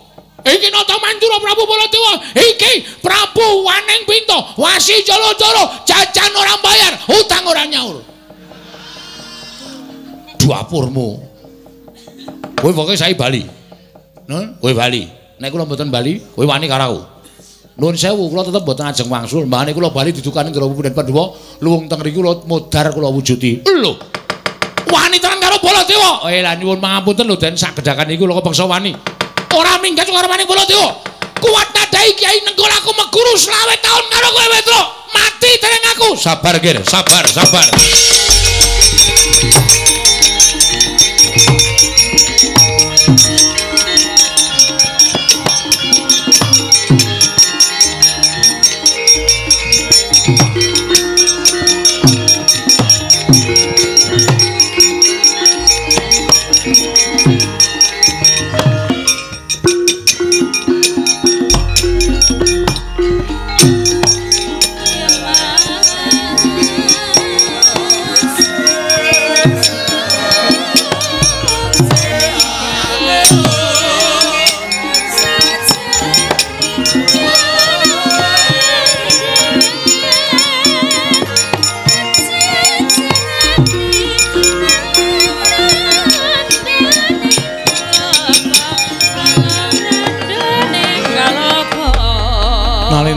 Pekmarwa sing sang manggyat kurda Manggyat kurda kota kaping irika sang pinarwasa. Ong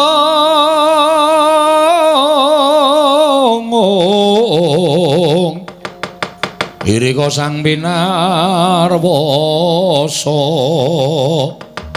Ong kula aturi sabar. Sinuwun Prabu Mandura kula aturi sabar. Sinuwun. Sampun ngantos dipun alang-alangi. Petruk saya ngias marang ingkang putra Punata Mandura Prabu Baladewa. Petruk saya ngece kalian kula. Petruk badhe kula tegeli. Menawi ngantos kateman mekaten ingkang getun panjenengan piyambak. Jur nyatanipun panjenengan menika tasih sederekipun para Pandhawa tasih pepundhenipun para Pandhawa menawi ngantos panjenenganipun sinuwun Prabu Mandura menika nyikara dhateng Petruk menika mangke saged kula wastani keriwikan dadi grojogan geguyon dadi tangisan. Mila perkawis menika kedatipun rembag kula ingkang badhe dados rana supados sak mangke boten wonten ingkang kula anggep banci ndemban siladan.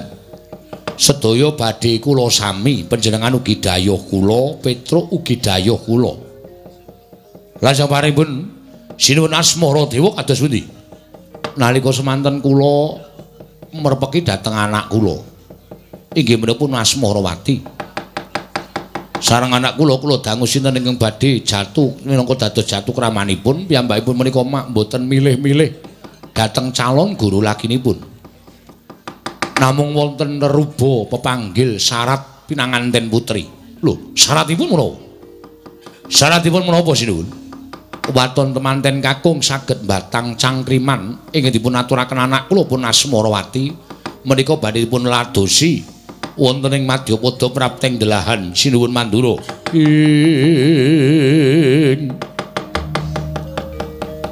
Sri Bala Dewa Narpati Twinare Swara Kresna Kalangkung. Kalangkung tresnanira marang Diabanon Cinawi Om. Ki jagat waisane ngobotura wayaptura jagat. Waduh. Dewa Jisemban kula. Sinuwun Prabu Asmara Dewa. Kula ngaturaken panuwun ingkang tanpa pepindhan. Dene jengandika saged nengahi perkawis menika. Malah samangke kula nyuwun pamit wangsul dhateng negaring Astina angombyong sowanipun pinanganten kakung. Supados saged ambatang cangrimanipun ingkang putra-putri inggih menika Dewi Asmarawati menika langkung prayogi. Sinuwun. Sinten ingkang saged kundur? Sarta angombyong sowanipun pinanganten kakung menika sakmangke badhe tinampi pasuwitanipun saha anak kula. Badhe ngladosi dhateng piantun kakung menika kula wau. Sinembun kula nyuwun pamit. Nggih ngatos-atos sembah kula katur sang tawa begawan duna nggih mangke badhe kula aturaken kula nyuwun pamit sinembun inggih sinembun mugi-mugi lebet ing karya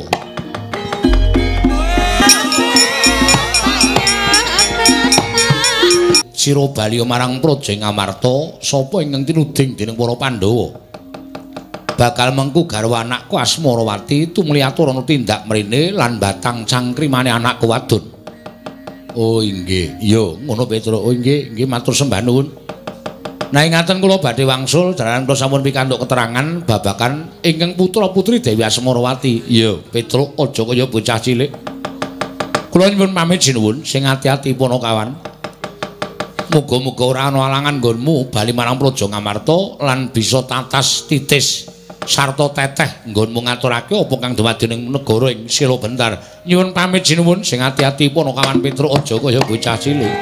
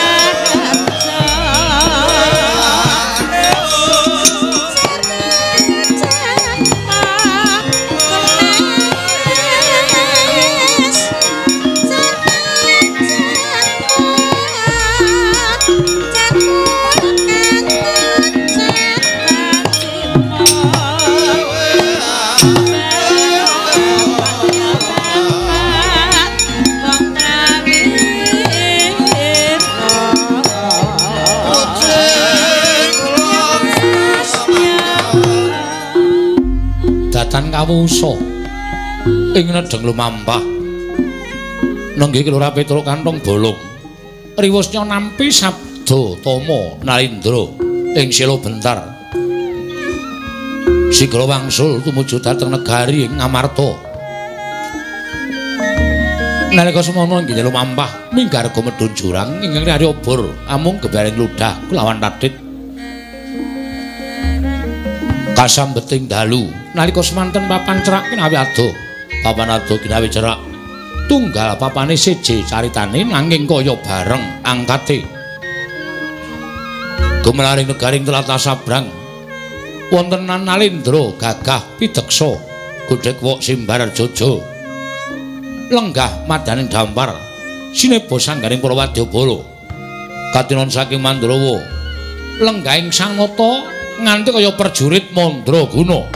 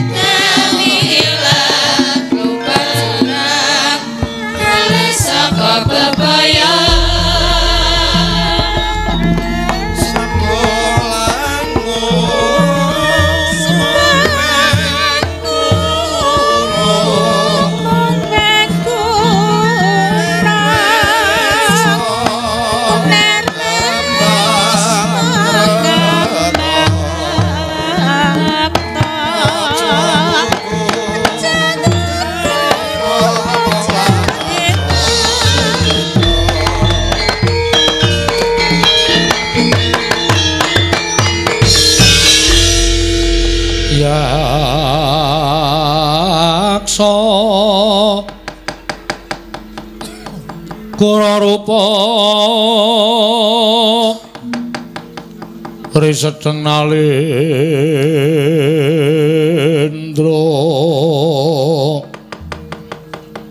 yaksa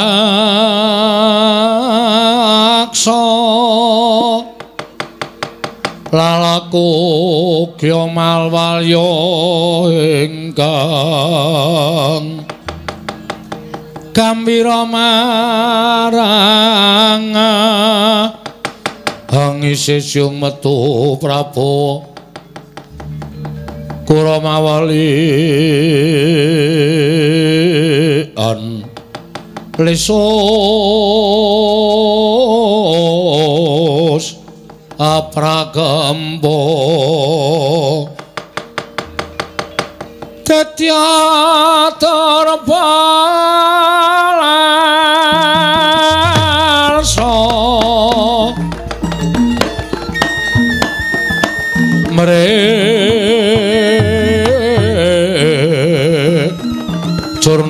jurnaning lawan. Dwi Roro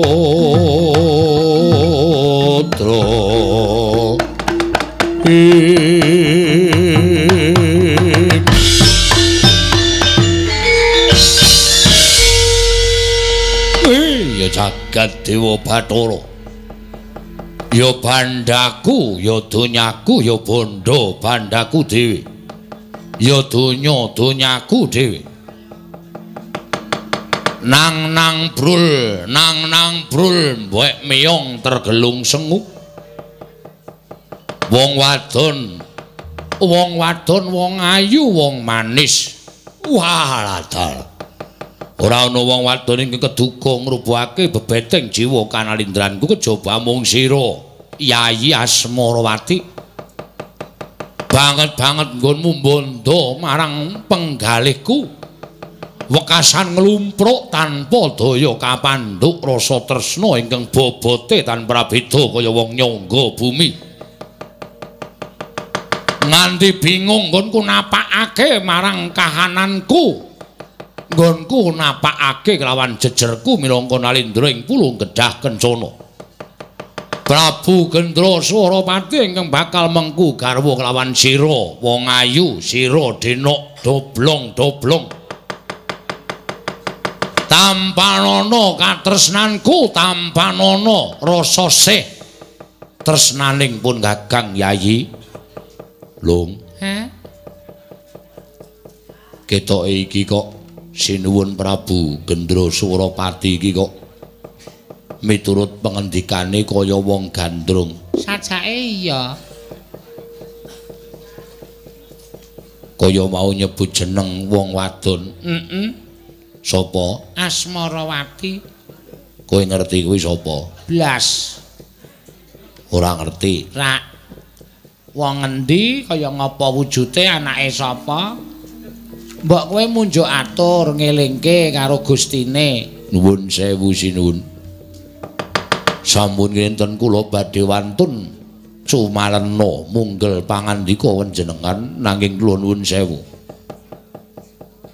Ingkang wonten ing parepatan ageng menika mboten wonten wanita ingkang namipun Asmarawati namung menika ingkang abdi toga kali bilung miyah rekyana patih ingkang sowan ngabiyantara ngersa paduka Gusti kula sanata. Nanging sabab menapa dene paduka paring dawuh mekaten waladal wah ora nyono lah kok tembungmu manis manuhara. Jumbo karo wujudanmu kowe wanita ingkang sresti ing warna. Mula barang kowe munjuk atur kersaning pun kakang biya-biya waduh waduh lega lega penggaling pun kakang Bembane kaya wong ketaman pepeteng kepapak obor sewu biar padang trawangan atiku. Wah. Cahayu. Mumpung dina samengko ora ana nayaka punggawa pulo gedhak kencere kepadha swana ning negara. Ayo ndak kanthi manjing pagulingan. Laden ana brantaning pun Kakang. Ora usah dadak duwe rasa tida-tida kang dadi atimu kowe njaluk apa watun ora nyuwun tumurun ning rembulan mesti bakal tak pinangkani. Apa kowe njaluk nganggo nyamping Mas Ginepeng, njaluk nganggo suweng ingkang gedene sak kurungan jago. Matura. Matura marang Prabu Gendra Suwaropati. Waton kowe gelem winengku garwa dening Prabu Gendra Suwaropati, panjalukmu mesti bakal tak pinangkani. Panjalukmu bakal tak pinangkani. Waduh. Piye, Long? Ai sembuh nek kaya ngene iki sangel. Wong lanang ki anggere gandrung karo wong wedok nyawang kancane kaya dene wong wedok sing digandrungi, ayo wis kuwi gandrung yang stadium akut. Waduh. Stadium Stadium Mandala Kerida. Nendang gundulmu kuwi, Gok. ora emosi tolong kowe iki. Tegese kuwi wis gandrung sing kepolen ngono lho tegese. Ngono. Kimcil kepolen. Ah iya. Iya iya bener. Ngono. Gandrunge wis ora iso dielekke, gandrunge wis ora iso dindakke. Mbok kowe nyedak, Gok, nyedak. Nuwun sewu. Panjenengan nek kaya ngoten niku mengke boten sae kedadosanipun. Sinuwun menika kula ngabdi pun togok. Sinuwun. Sinuwun Gendra Suwaropati menika ingkang ngabdi pun togok sinuwun. Sampun ngantos panjenengan gadhahi sloga ingkang kados mekaten diwaji. Diwaji kula aturi emut menika ingkang ngabdi pun togok, menika ingkang ngabdi pun bila. Mriki menika mboten wonten Dewi Asmarawati sajaipun diwaji nandang gandrung. Ingkang semunipun sampun nuwun sewu mboten saged dipun emutaken. Ning tetep kula aturi umut sinuwun.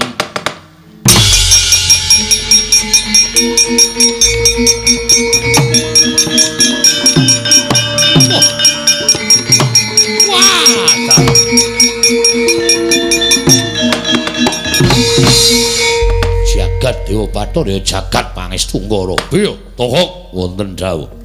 Wis suwe nggonku lungguh ning dampar. Pun kawit wau jam 8 enjing ngantos sak menika jam sedasa. Apa aku wis paring dawuh? Mboten paring dawuh ning ngendika kathah-kathah. Aku ngendika apa? Panjenengan ketingalipun gandrung kalian setunggiling wanita. Naminipun Dewi Asmarawati. malah ingkang abdi pun togok sampun kinten kula menika wujudipun pawestri ingkang namipun Asmarawati. Kula dipun badhe dipun kanthi manjing pagulingan. Wah, bangsat. Kena apa ora ngelikke marang aku, napa ora ngelingke karo aku? Sampun wungsal wangsul kula ngemutaken. pun bola bali ning panjenengan menika nuwun sewu peningalipun kados dene kosong ngoten lho. Ngalamun ning kok ngendika lho lah menika ingkang bebayani wonten mriki menika ngalamun kok omong. Ya to, Gak? Heeh. Mangka sing diomongke bab wong wedok tegesipun nuwun sapunten menawi panjenengan menika nedeng nandang gandrung. Togok wonten dawuh. Mati aku kok. Lah pripun? Aku ngimpi ketemu wong wadon. Jenenge Asmarawati, ndak wengku garwa dheweke ora suwala, ora selak manut dadi garwaku. Nggih. Durung nganti lakon aku dawuh karo Asmarawati gregah, aku tungu tutangi saka Nendra. Nggih. Salajengipun wiwit dina aku ngimpi tekan saiki wis ana Sabtu ari kelungguhan iki. Nggonku ngimpi wancine anggara kasih.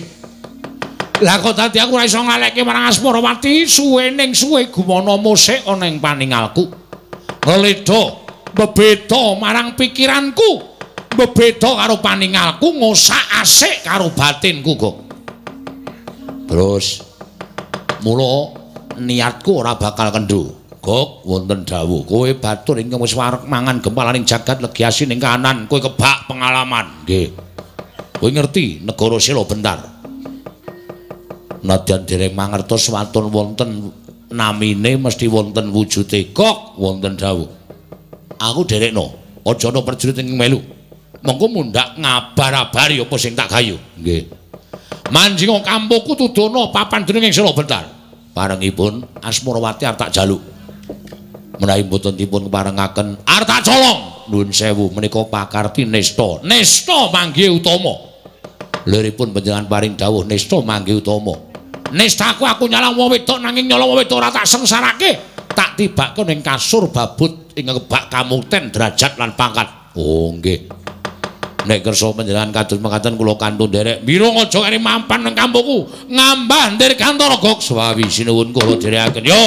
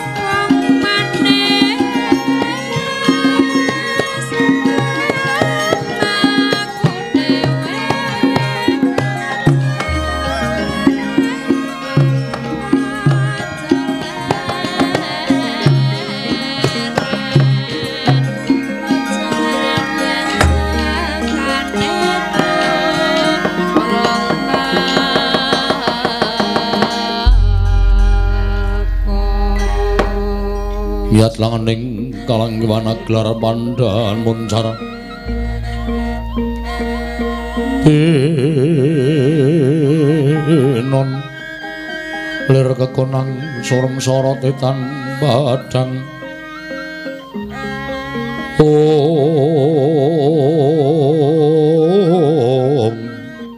Om.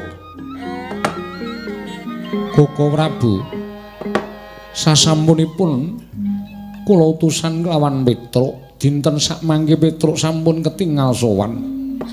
Menapa mboten langkung prayogi menawi tumuli Petruk katimbalan kados pundi mangke kabul kawusananipun anggenipun kula utus wonten negari ing Sila Bentar. Koko Prabu Yayi menika langkung prayogi tumuntun sak mangke Petruk katimbalana kados pundi kabul kawusananipun anggenipun diutus wonten garing Sila Bentar. Kono kawan Petro wonten dawuh sinuwun. Maragake matura ingkang prasaja kepiye mungguh kahananira nggonira prapta ning negara Sila bentar sowan sinuwun Prabu Asmara Dewa. Nadyan kanthi tambu-tambu kula sampun pikantuk kabar lan sampun pikantuk papan dunungipun lenggahipun sinuwun Prabu Asmara Dewa panjenengan para saestu mapan wonten negaring Sila bentar sinuwun. Iya, sak banjure kepiye? Para madyawa sana sampun ngaturaken tinampi dening sinuwun Prabu Asmara Dewa. Nalika semanten sareng kalian swanipun Begawan Durna ingkang nglamar Dewi Asmarawati badhe kadhaupaken kalian Ndara Lesmana Mandra Kumara. Ngantos dados geger. Ewa dene nalika semanten dipun sape dening sinuwun Prabu Asmara Dewa kacariyos temanten kakung badhe saged mengku garwa Dewi Asmarawati waton saged ambatang cangkrimanipun Dewi Asmarawati. Mila atur kula nersanipun Sun Prabu Darma Kusuma mugi dadosa penggalian sinten ingkang badhe kadhapuk minangka dados pinanganten kakung tumunten kadhawuhan sowan wonten negari ing Sela Bentar sinuwun. Koko Prabu menggah saking pemanggih paduka sinten ingkang pantes sak mangke kedal daup kalian pun Dewi Asmarawati saking negaring Sila Bentar. Yayi. Menawi Werkudara kula kinten mboten badhe kelampahan menapa malih Arjuna. Namung peranganipun para Pandhawa menika nuwun sewu ingkang tasilegan menika namung pun Sedewa. Mila dinten sak mangke kula kandangu dhateng ngrayipun Sedewa. Sedewa, wonten maring dawuh Prabu. Maju yayi ana dawuh saka panjenengan ulun Dimas kadangipun Kakang Sedewa Miat langening kalangguan. Aglar pandan moncar. Oh. Gumolo ngrembug kabeh kadang-kadangmu wong atuamu. Kadamu werda panjenengan ingsun Werkudara apa dene Arjuna nemtokake lamun sira yayi ingkang kudu mengku garwa kelawan Dewi Asmarawati putri saka negara ing Sela Bentar yayi. Sedewa ora mung para Pandhawa nanging tumrapun Kakang kaya Siadi ingkang pantes mengku garwa Dewi Asmarawati lan sumurupa. Iki ora mung mligi nempokake rasamu kan rasaning Asmarawati sarta njodo dhaupake kowe karo Asmarawati nanging ingkang luwih wigati Yayi satemene ana wahyu ingkang cumondhok ana ing angganing Dewi Asmarawati mula Pandhawa adreng ngene kepengin isa mboyong marang Dewi Asmarawati wah Sedewa aja selak aja kumbi. Lakonana dawing kadang-kadangmu jernyatane iki ganti ning wong tuamu yen to nganti kowe nyelaki apa sing dadi dawuhing kadang-kadangmu? Ora ana gunane nggonmu ngabekti marang para Pandhawa. Ora ana gunane nggonmu tansah dikula wentah dening kadang-kadangmu tuwa. Yen kowe duwe karepe Werkudara Janaka apa dene barep kakangku wah kowe ngerti. Werkudara yen nesu kudu kepiye Sediwa aja nganti dadi perkara mara gagilakonana yayi kadangipun Kakang Yayi Sediwa.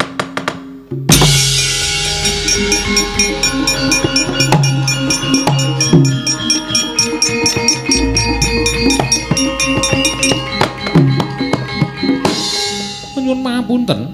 Sawu-sawu karapatanipun ingkang rayit adah wadana Prabu. Menawi paduka ndangu tuwin dawuh babakan perkais menika kula nyuwun pangapunten. Sepisan malih kula nyuwun pangapunten kula dereng saged nglampahi. Jernyatanipun kula dereng sambungan pun Asmarawati. Menapa inggih wonten jamak limanipun ngatasipun tresna kok pineksa menika mboten badhe kelampah. Mila sampun ngantos kula dinukanan saha nampun ngantos kula pinatrapan pidendan ingkang awrat. Krana kula mboten saged ngestu padha dhateng dawuh paduka Kanjeng Koko Prabu Sedewa iki wis gumolong ngrembug. Aja nganti gawe sengkel atining kadang-kadangmu tuwa Sedewa lakonana. Lakonana iki dadi srana para Pandhawa entuk kanugrahan. Wah ngandel ora.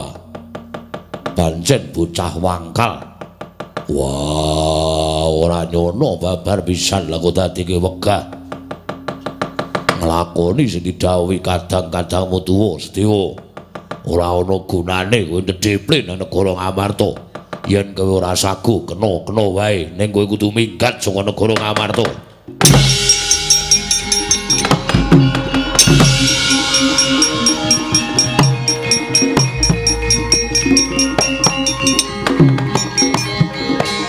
Werkudara, Iya. Nek ndukani adimu kok mesti nganggo ngono iki apa to? Nek ora kon minggat ngopo? Wong nyatane ya isih iso dirembug. Ning si Adi mesti kaprawasa marang mubal babaling kanepson wekasan tanpa petung adimu tok tundung dhewe. Wah, mangkel. Bocah kandhani ngeyel. Urung ora ora goleke gawean pun Kakang to yayi kowe iki.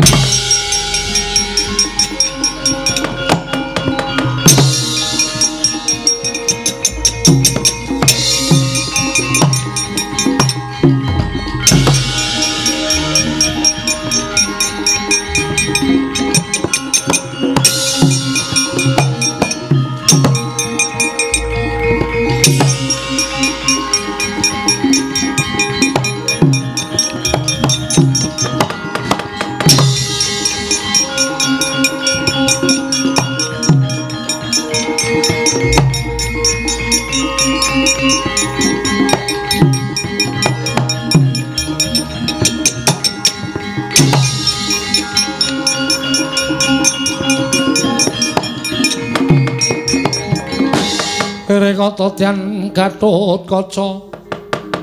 Dinon mapakareka suta. Teka pira Kresna Parta maneher sakti nira Gatut Kaca wonten timbalan. Kaget kowe tak awe. Nggih, nedhengipun mapan wonten ing ngawang-ngawang. Sumerep dhateng pengawinipun Kanjeng Wuh Indrawati. Nggih. Iki mau jroning negara Ngamarta ngrembug nggone bakal mboyong marang Dewi Asmarawati. Mongko pamanmu Mbumira tawu. Ya kuwi Sedewa tinuding kudu garwa kalawan Asmarawati sabab Asmarawati kuwi dudu wong wadon sembarangan nanging gembol kanugrahan. Lho. Nanging pamanmu ora gelem. Tak jaluk gawemu ya karo kaca Barengipun pamanmu yaken cegaten dalan. Yen wis ketemu, kowe matura. Yen to ingkang batang cangkrimane Asmarawati kuwi Sedewa, ning sing dhaup kowe. estu napa? Kuse, kuse. Aja kesusu kok njur estu estu. Kuwi meng samudana. Mengko yen cangkrimane Asmarawati wis kebatang dening Sedewa, ora-orane Asmarawati gelem ngladeni wong liya, mesti ngoyak pamanmu. Lho niki ngestaken dawuh. Wis ngerti to, Guys? Sampun.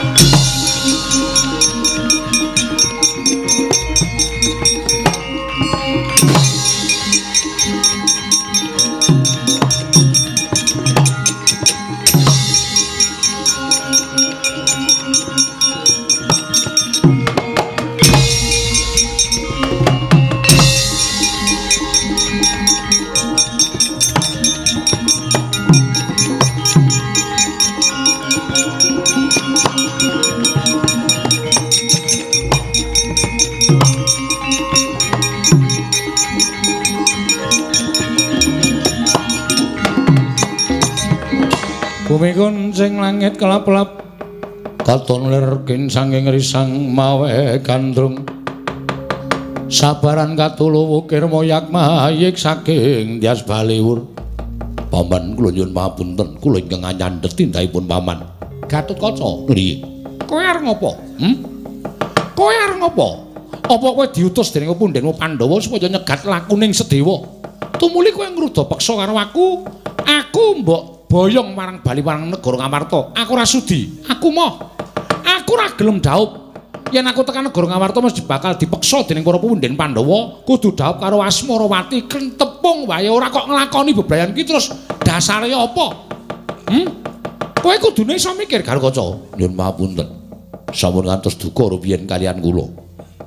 Menika wau Kanjeng Prabu Ndrawati manggi ingkang putra pun Gatut Kaca. Lho. Kok Prabu nemoni anak lanang Kasinggihan. dawe Ora Kanjeng Prabu paring dawuh Gatut Kaca gandeng pamanmu Sedewa ora gelem rabi. Mula kowe sing kudu dhaup. kowe ora guyon lho. Kowe ora guyon, kowe aja ngapusi wong tuwa. Mboten saestu. Tenan. Iya, saestu. Lah wis yen pancen kowe sing kudu rabi, kono mangkato ning negara sira bentar. Nyuwun pangapunten, namung kula mboten saged batang cangringanipun Asmarawati. Menapa Kanjeng Paman kersa bantu kalian kula? Aku kudu bantu apa? Panjenengan ingkang batang, kula ingkang rabi. Lho lho. Ngono. Iya, Ning iki ora dolanan to, Ger? mboten. Petruk saksinipun. Bener apa ora Petruk? Ora. Eh, anu bener. Nyun ngapunten, nyun ngapunten. Makler e. Kok ngerti-ngerti terus didangu ora? Nek pancen tenan tak batange cangkrimane. Nanging sing rabi kowe lho, Ger. Iya, Tenan lho. iya saestu. Ayo tutno pun paman. Monggo kula dherekaken Paman.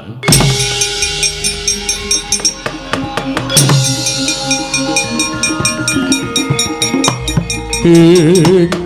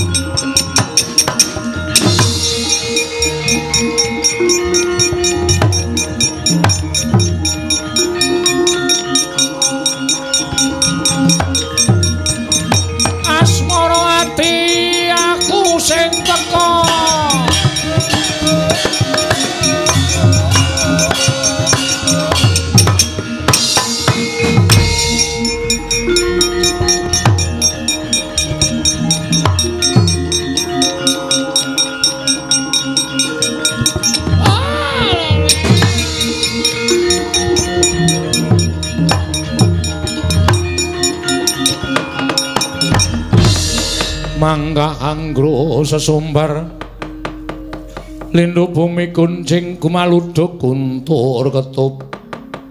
Nang nang brul nang nang brul mbek meong tergelong senguk. Wong ayu ayune dipek dhewe biyo biyo. Wong wadon kok kaya ngono wujudane iso gawe-gawe rongeh penggalihing Raden Lesmana Mandra Kwara minujeng rawuhipun Raden. Mm -mm. slamet niring sambikala wonten menapa dene paduka Raden rawuh wonten ing taman negari ing Sela Bentar? Asmarawati wonten dawuh. Jarene kowe duwe cangkriman. Apa mbok anggap Lesmana ki wong bodho apa mbok anggap aku ki wong bento aku anak ratu ngelmu kawruhku wis kebak kowe arep gawe cangkriman apa Pak boleh tos tapak kebo sikile 100 lenggok sunder. Malinge menggok asune nyander. Lek lu telek nang alu. Lek lip telek didulit ayo kowe arep gawe cangkriman apa sanes menika Raden kula namung betah. Mangertosi ingkang winastan sandanganing raga miwah sandanganing jiwa menika menapa wo dos pundi? Sandanganing raga ki ya bathik. Karo kathok sing larang nganggo gelang nganggo kalung sarwa mas inten mutiara kuwi sandanganing raga wong sing sandangane apik penganggone sarwa becik kuwi mesti kajen keringan kuwi sandanganing raga yen sandanganing jiwa kuwi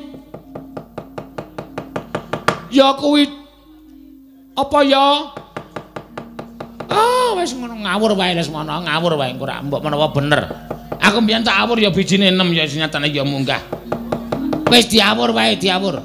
Sandanganing jiwa kuwi wujud kapinteran lan katekunan gone madeg minangka titahing Gusti. Ngono ya meng kaya ngono wis meng kuwi bener apa salah Asmarawati. Mboten wonten ingkang cocok kalian menapa ingkang kula kajengaken Raden Edan lah terus inggih kados menapa ing sampun dados sayembara sinten ingkang mboten saged mbatang cangkriman kula. Tetep mboten badhe saged boyong dhateng jasad kula. Edan yang pripun niki Asmarawati mboten purun dipun boyong tegese kula kalih sampeyan mundur teratur. Wangsul teng negara Ngastina gagal meneh penjangkanipun. Ngastina yang mati kula. Oh sing sabar ya putu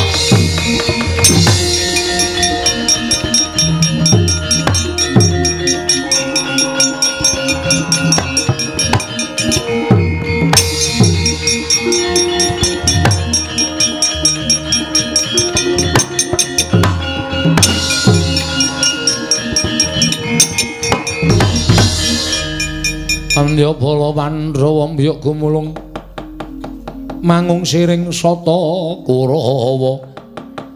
Ing. Apa iki ngaran Asmarawati kasinggihan mekaten Raden panjenengan sinten? Aku Raden Sedewa ingkang wingking. Aku Gatotkaca wonten menapa dene rawuh wonten ing Taman Negari ing Sila Bentar ujaring utusanku jare putri saka negara ing Sula Bentaran Majaning Prabu Asmaradewa nganakake sayembara cangkriman.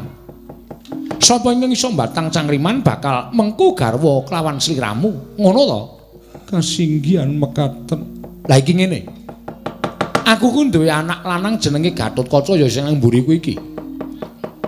Mongko iki durung lakoni daup tegese kepengin daup silane ngakrama Mula dina samengko aku njaluk karo Dewi Asmarawati keparenga paring cangkriman karo aku, mengko aku ingkang batang. Ning nuwun sewu nek iso kebatang sing rabi dudu aku.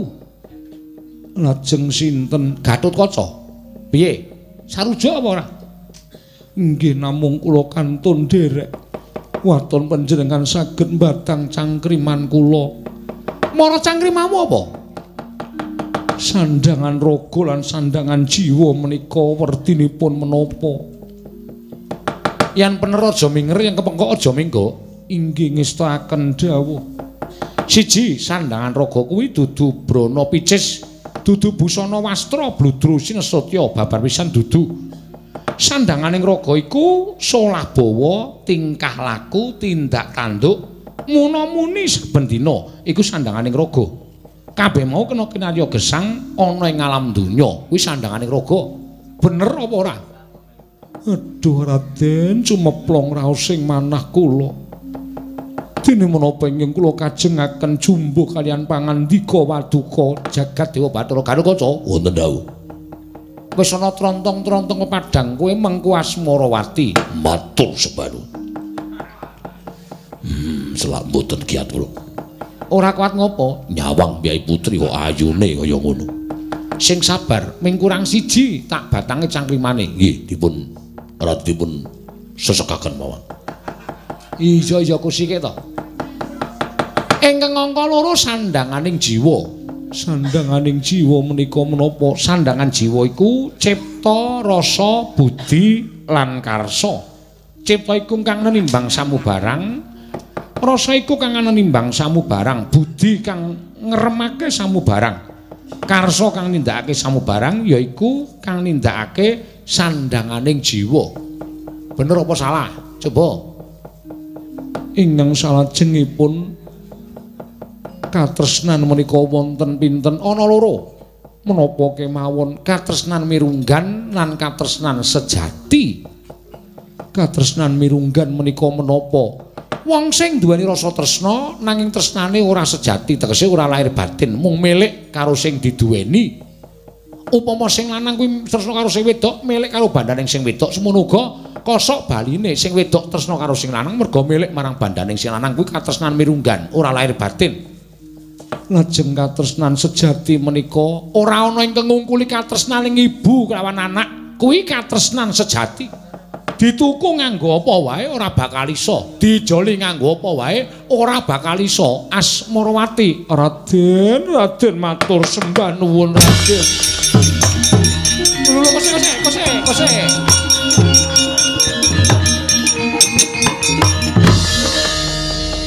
Bareng wis iso tak batang kok kowe nyedak karo aku.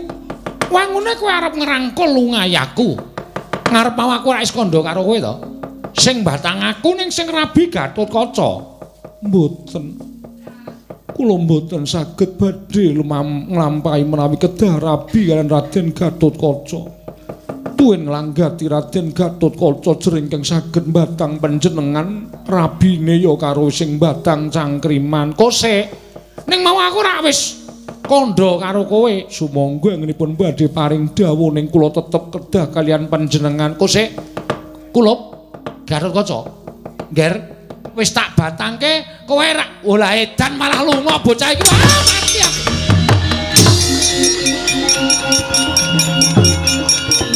Raden, Raden panjenengan.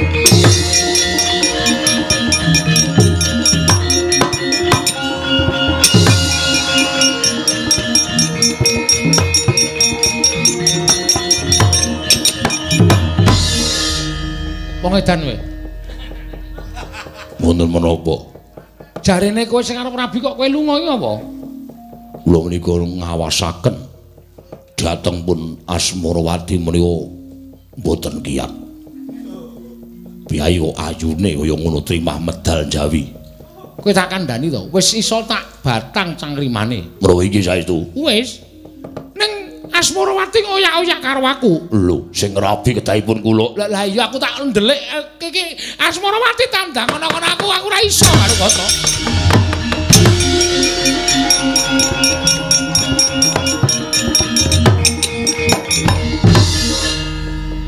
Raden apa?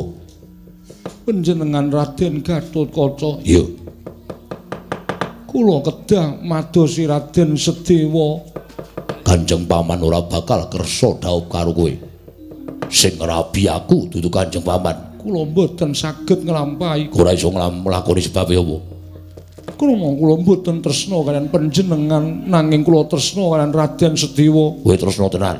saestu Lahir batin lahir batos yen Kanjeng Paman sedo, kula nderek peja yen Kanjeng Paman nandang rugo tegese lara. Kula badhe nderek sakit. Tresna kula lahir batin wonten pundi Raden Sedewa Neng kono, oyakan kono.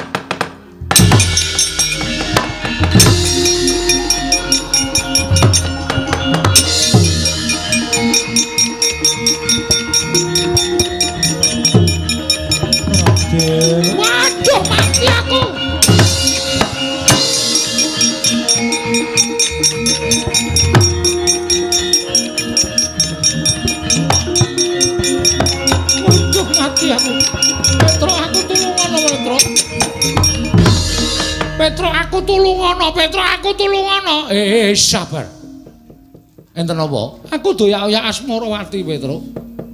Lah mergane napa? Mboten niku penak lho mengkari geleme kok. Emoh, aku ora iso nglakoni. Ya ya. Ora ya suwe-suwe iso. Petro aja tak bu. Ya aduh, ora sak gegem nek njabut ki. Njur sak gegem ora.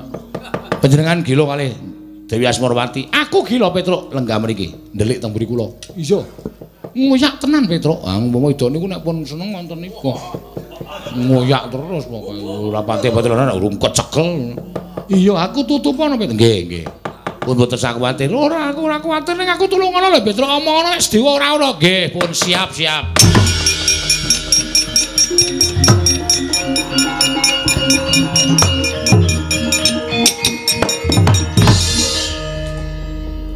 Menika sinten? Aku Raden Gatotkaca. Mbuh Racaturan. Kula Petro. Petro nate sowan Kang Rama. Raden Setiwa wonten pundi ki Lurah Petro? Lah kula mboten ngertos. Panjenengan kok ngoyak Raden Setiwa kaya babon kok ngoyak jago ora wangun. Ya ben wong tresna kok ora peduli wangun apa ora sing wigati aku ngoyak pokoke. Walah. Tresna tenan, tresna tenan. Tru, Hmm. Goleki bojomu. Apa? Kana kana. Yo. Ana apa yo? Wih lah edan Petro malah lunga lho.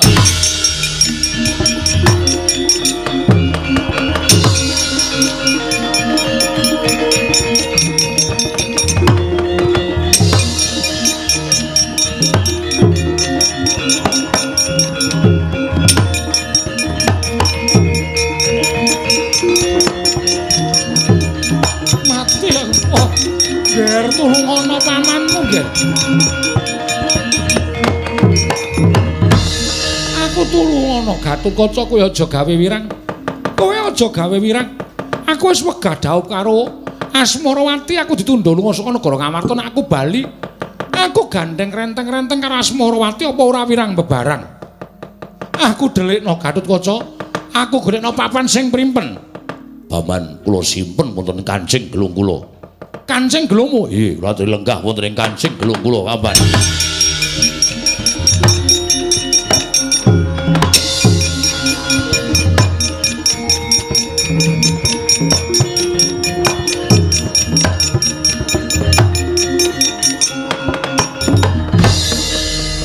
Asmarawati. Kula wonten dawuh Raden, Ora sang uyak-uyak. Aku ngilingke karo kowe. kula mboten peduli. Mboten badhe leren menawi tresna kula dereng tinampi dening Raden Sedewa. Tetep kula badhe madosi Raden Sedewa. Kowe iki wong wadon apa ora isin?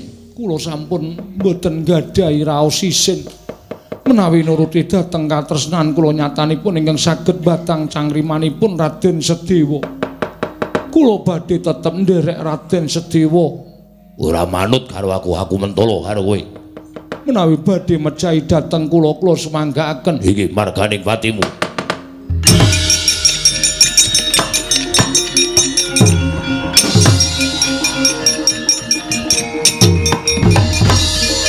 Cinandak dening Sang Gatotkaca. Nalika semanten sigra den lebetaken wonten ing Kancing Gelung. Raden Sedewa ingkang wis rumiyin kalebetaken wonten ing Kancing Gelung krana mlajar-mlajar tebih karaos sayah.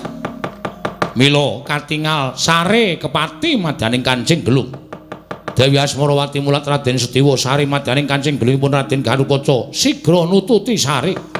Keparinging jawata kekalih nglilir saking anggenipun sari. Wis kepareng dadi jodho dhaupe renteng-renteng karo nuntungan mandhap saking Kancing Gelung ing Sang Tetuka.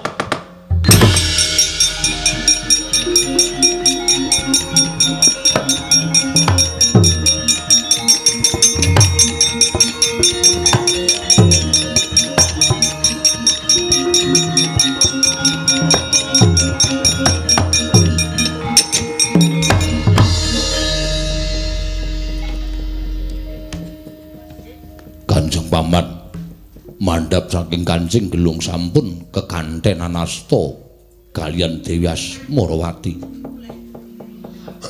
Lah ya wis piye meneh wong jeneng wong doyak-oyak kene ora pasrah. Ya ora ngono, ya wong nyatane ya wis jodho kabeh. Pedro, Nun,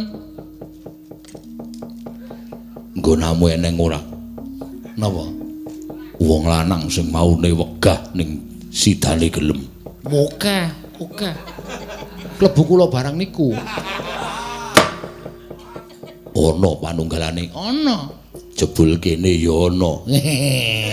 Sampeyan niku nyemoni niki. Ora sasuk wonten niku mbok kajenge engko nek ka- kagol penggali malang rekoso lho. Engko nek sing kakung moh meneh sing wedok nguyak-uyak meneh sampeyan kali kula dadak mlayu-mlayu ngalor ngidul. Iya, Pedro. Nggih. Pun mantep wis Petro, syukur.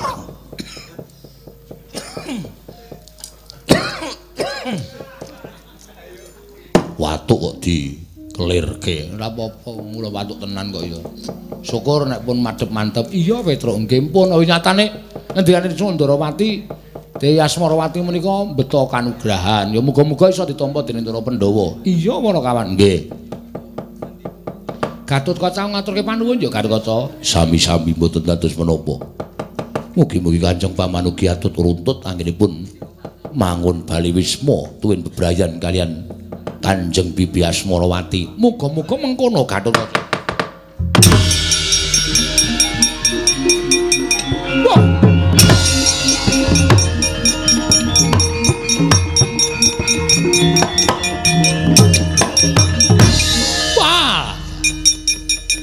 wis diwengku garwa karo satriya bagus branyak pasemone aja alok kelangan colong dewi asmarawati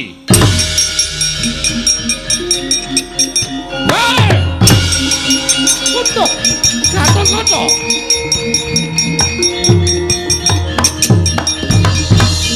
Gatot Kaca. Bibimu ilang Gatot Kaca. Garwaku Dewi Asmarawati ilang. Menyang endi Gatot Kaca golek ana Gatot Kaca tulung ana aku. Lenggah prayogi, Paman.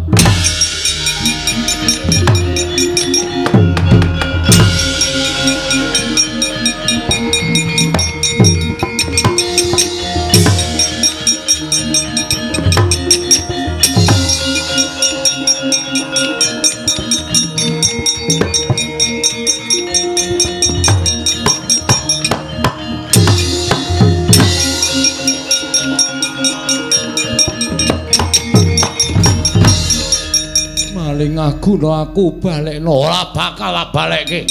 Aku tresno karo kowe. Kowe kudu dadi bojoku asmara ati. Aduh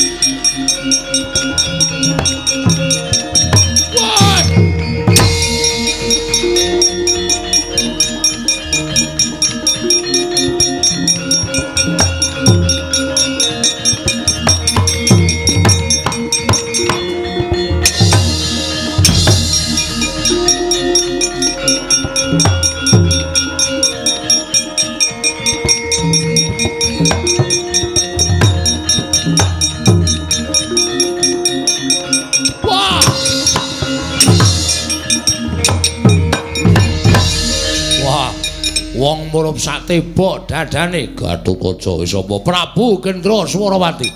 Jaluk Asmarawati gimerdasmu. Wah, mati dening aku.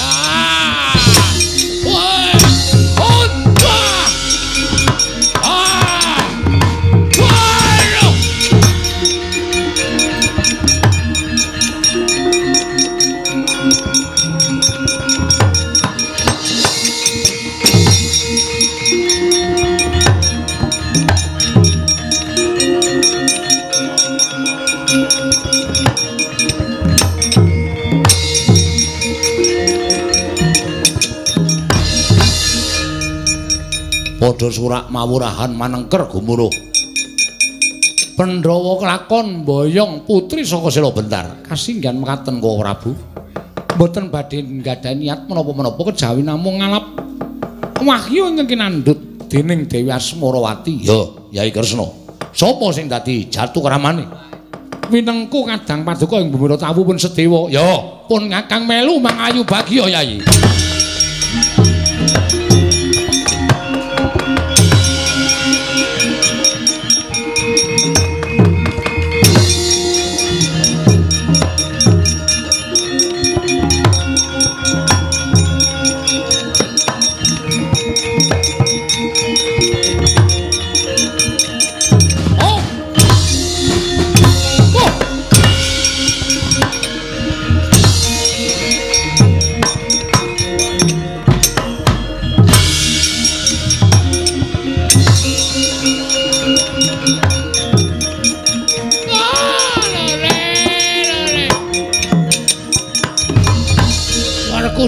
dara aku paten ana.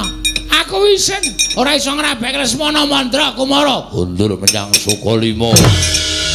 Wah!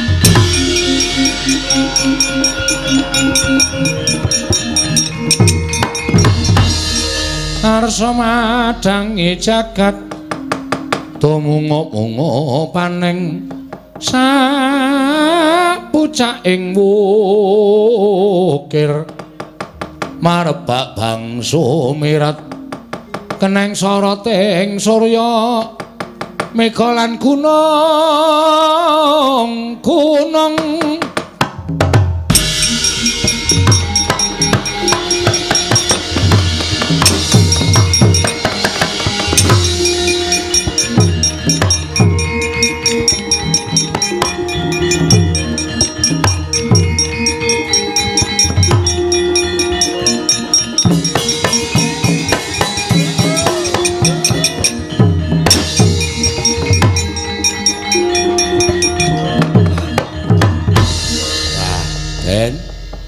Ndara Sedewa kelampan daup. Mugi-mugi eh tansah manggya katentreman, kebagas kewarasan, kawilujengan saha kesarasan lan tansah tresna asih ngantos dumugi puputing yuswa. Yo, Semar. Purnaning gati sura sudira janing kang rat subrasut kaping kula Darmastuti rahayung sami makarya rahayu ingkang samya pinanggih. Kula nyuwun pamit matur sembah nuwun ingkang sakalangkung kadang.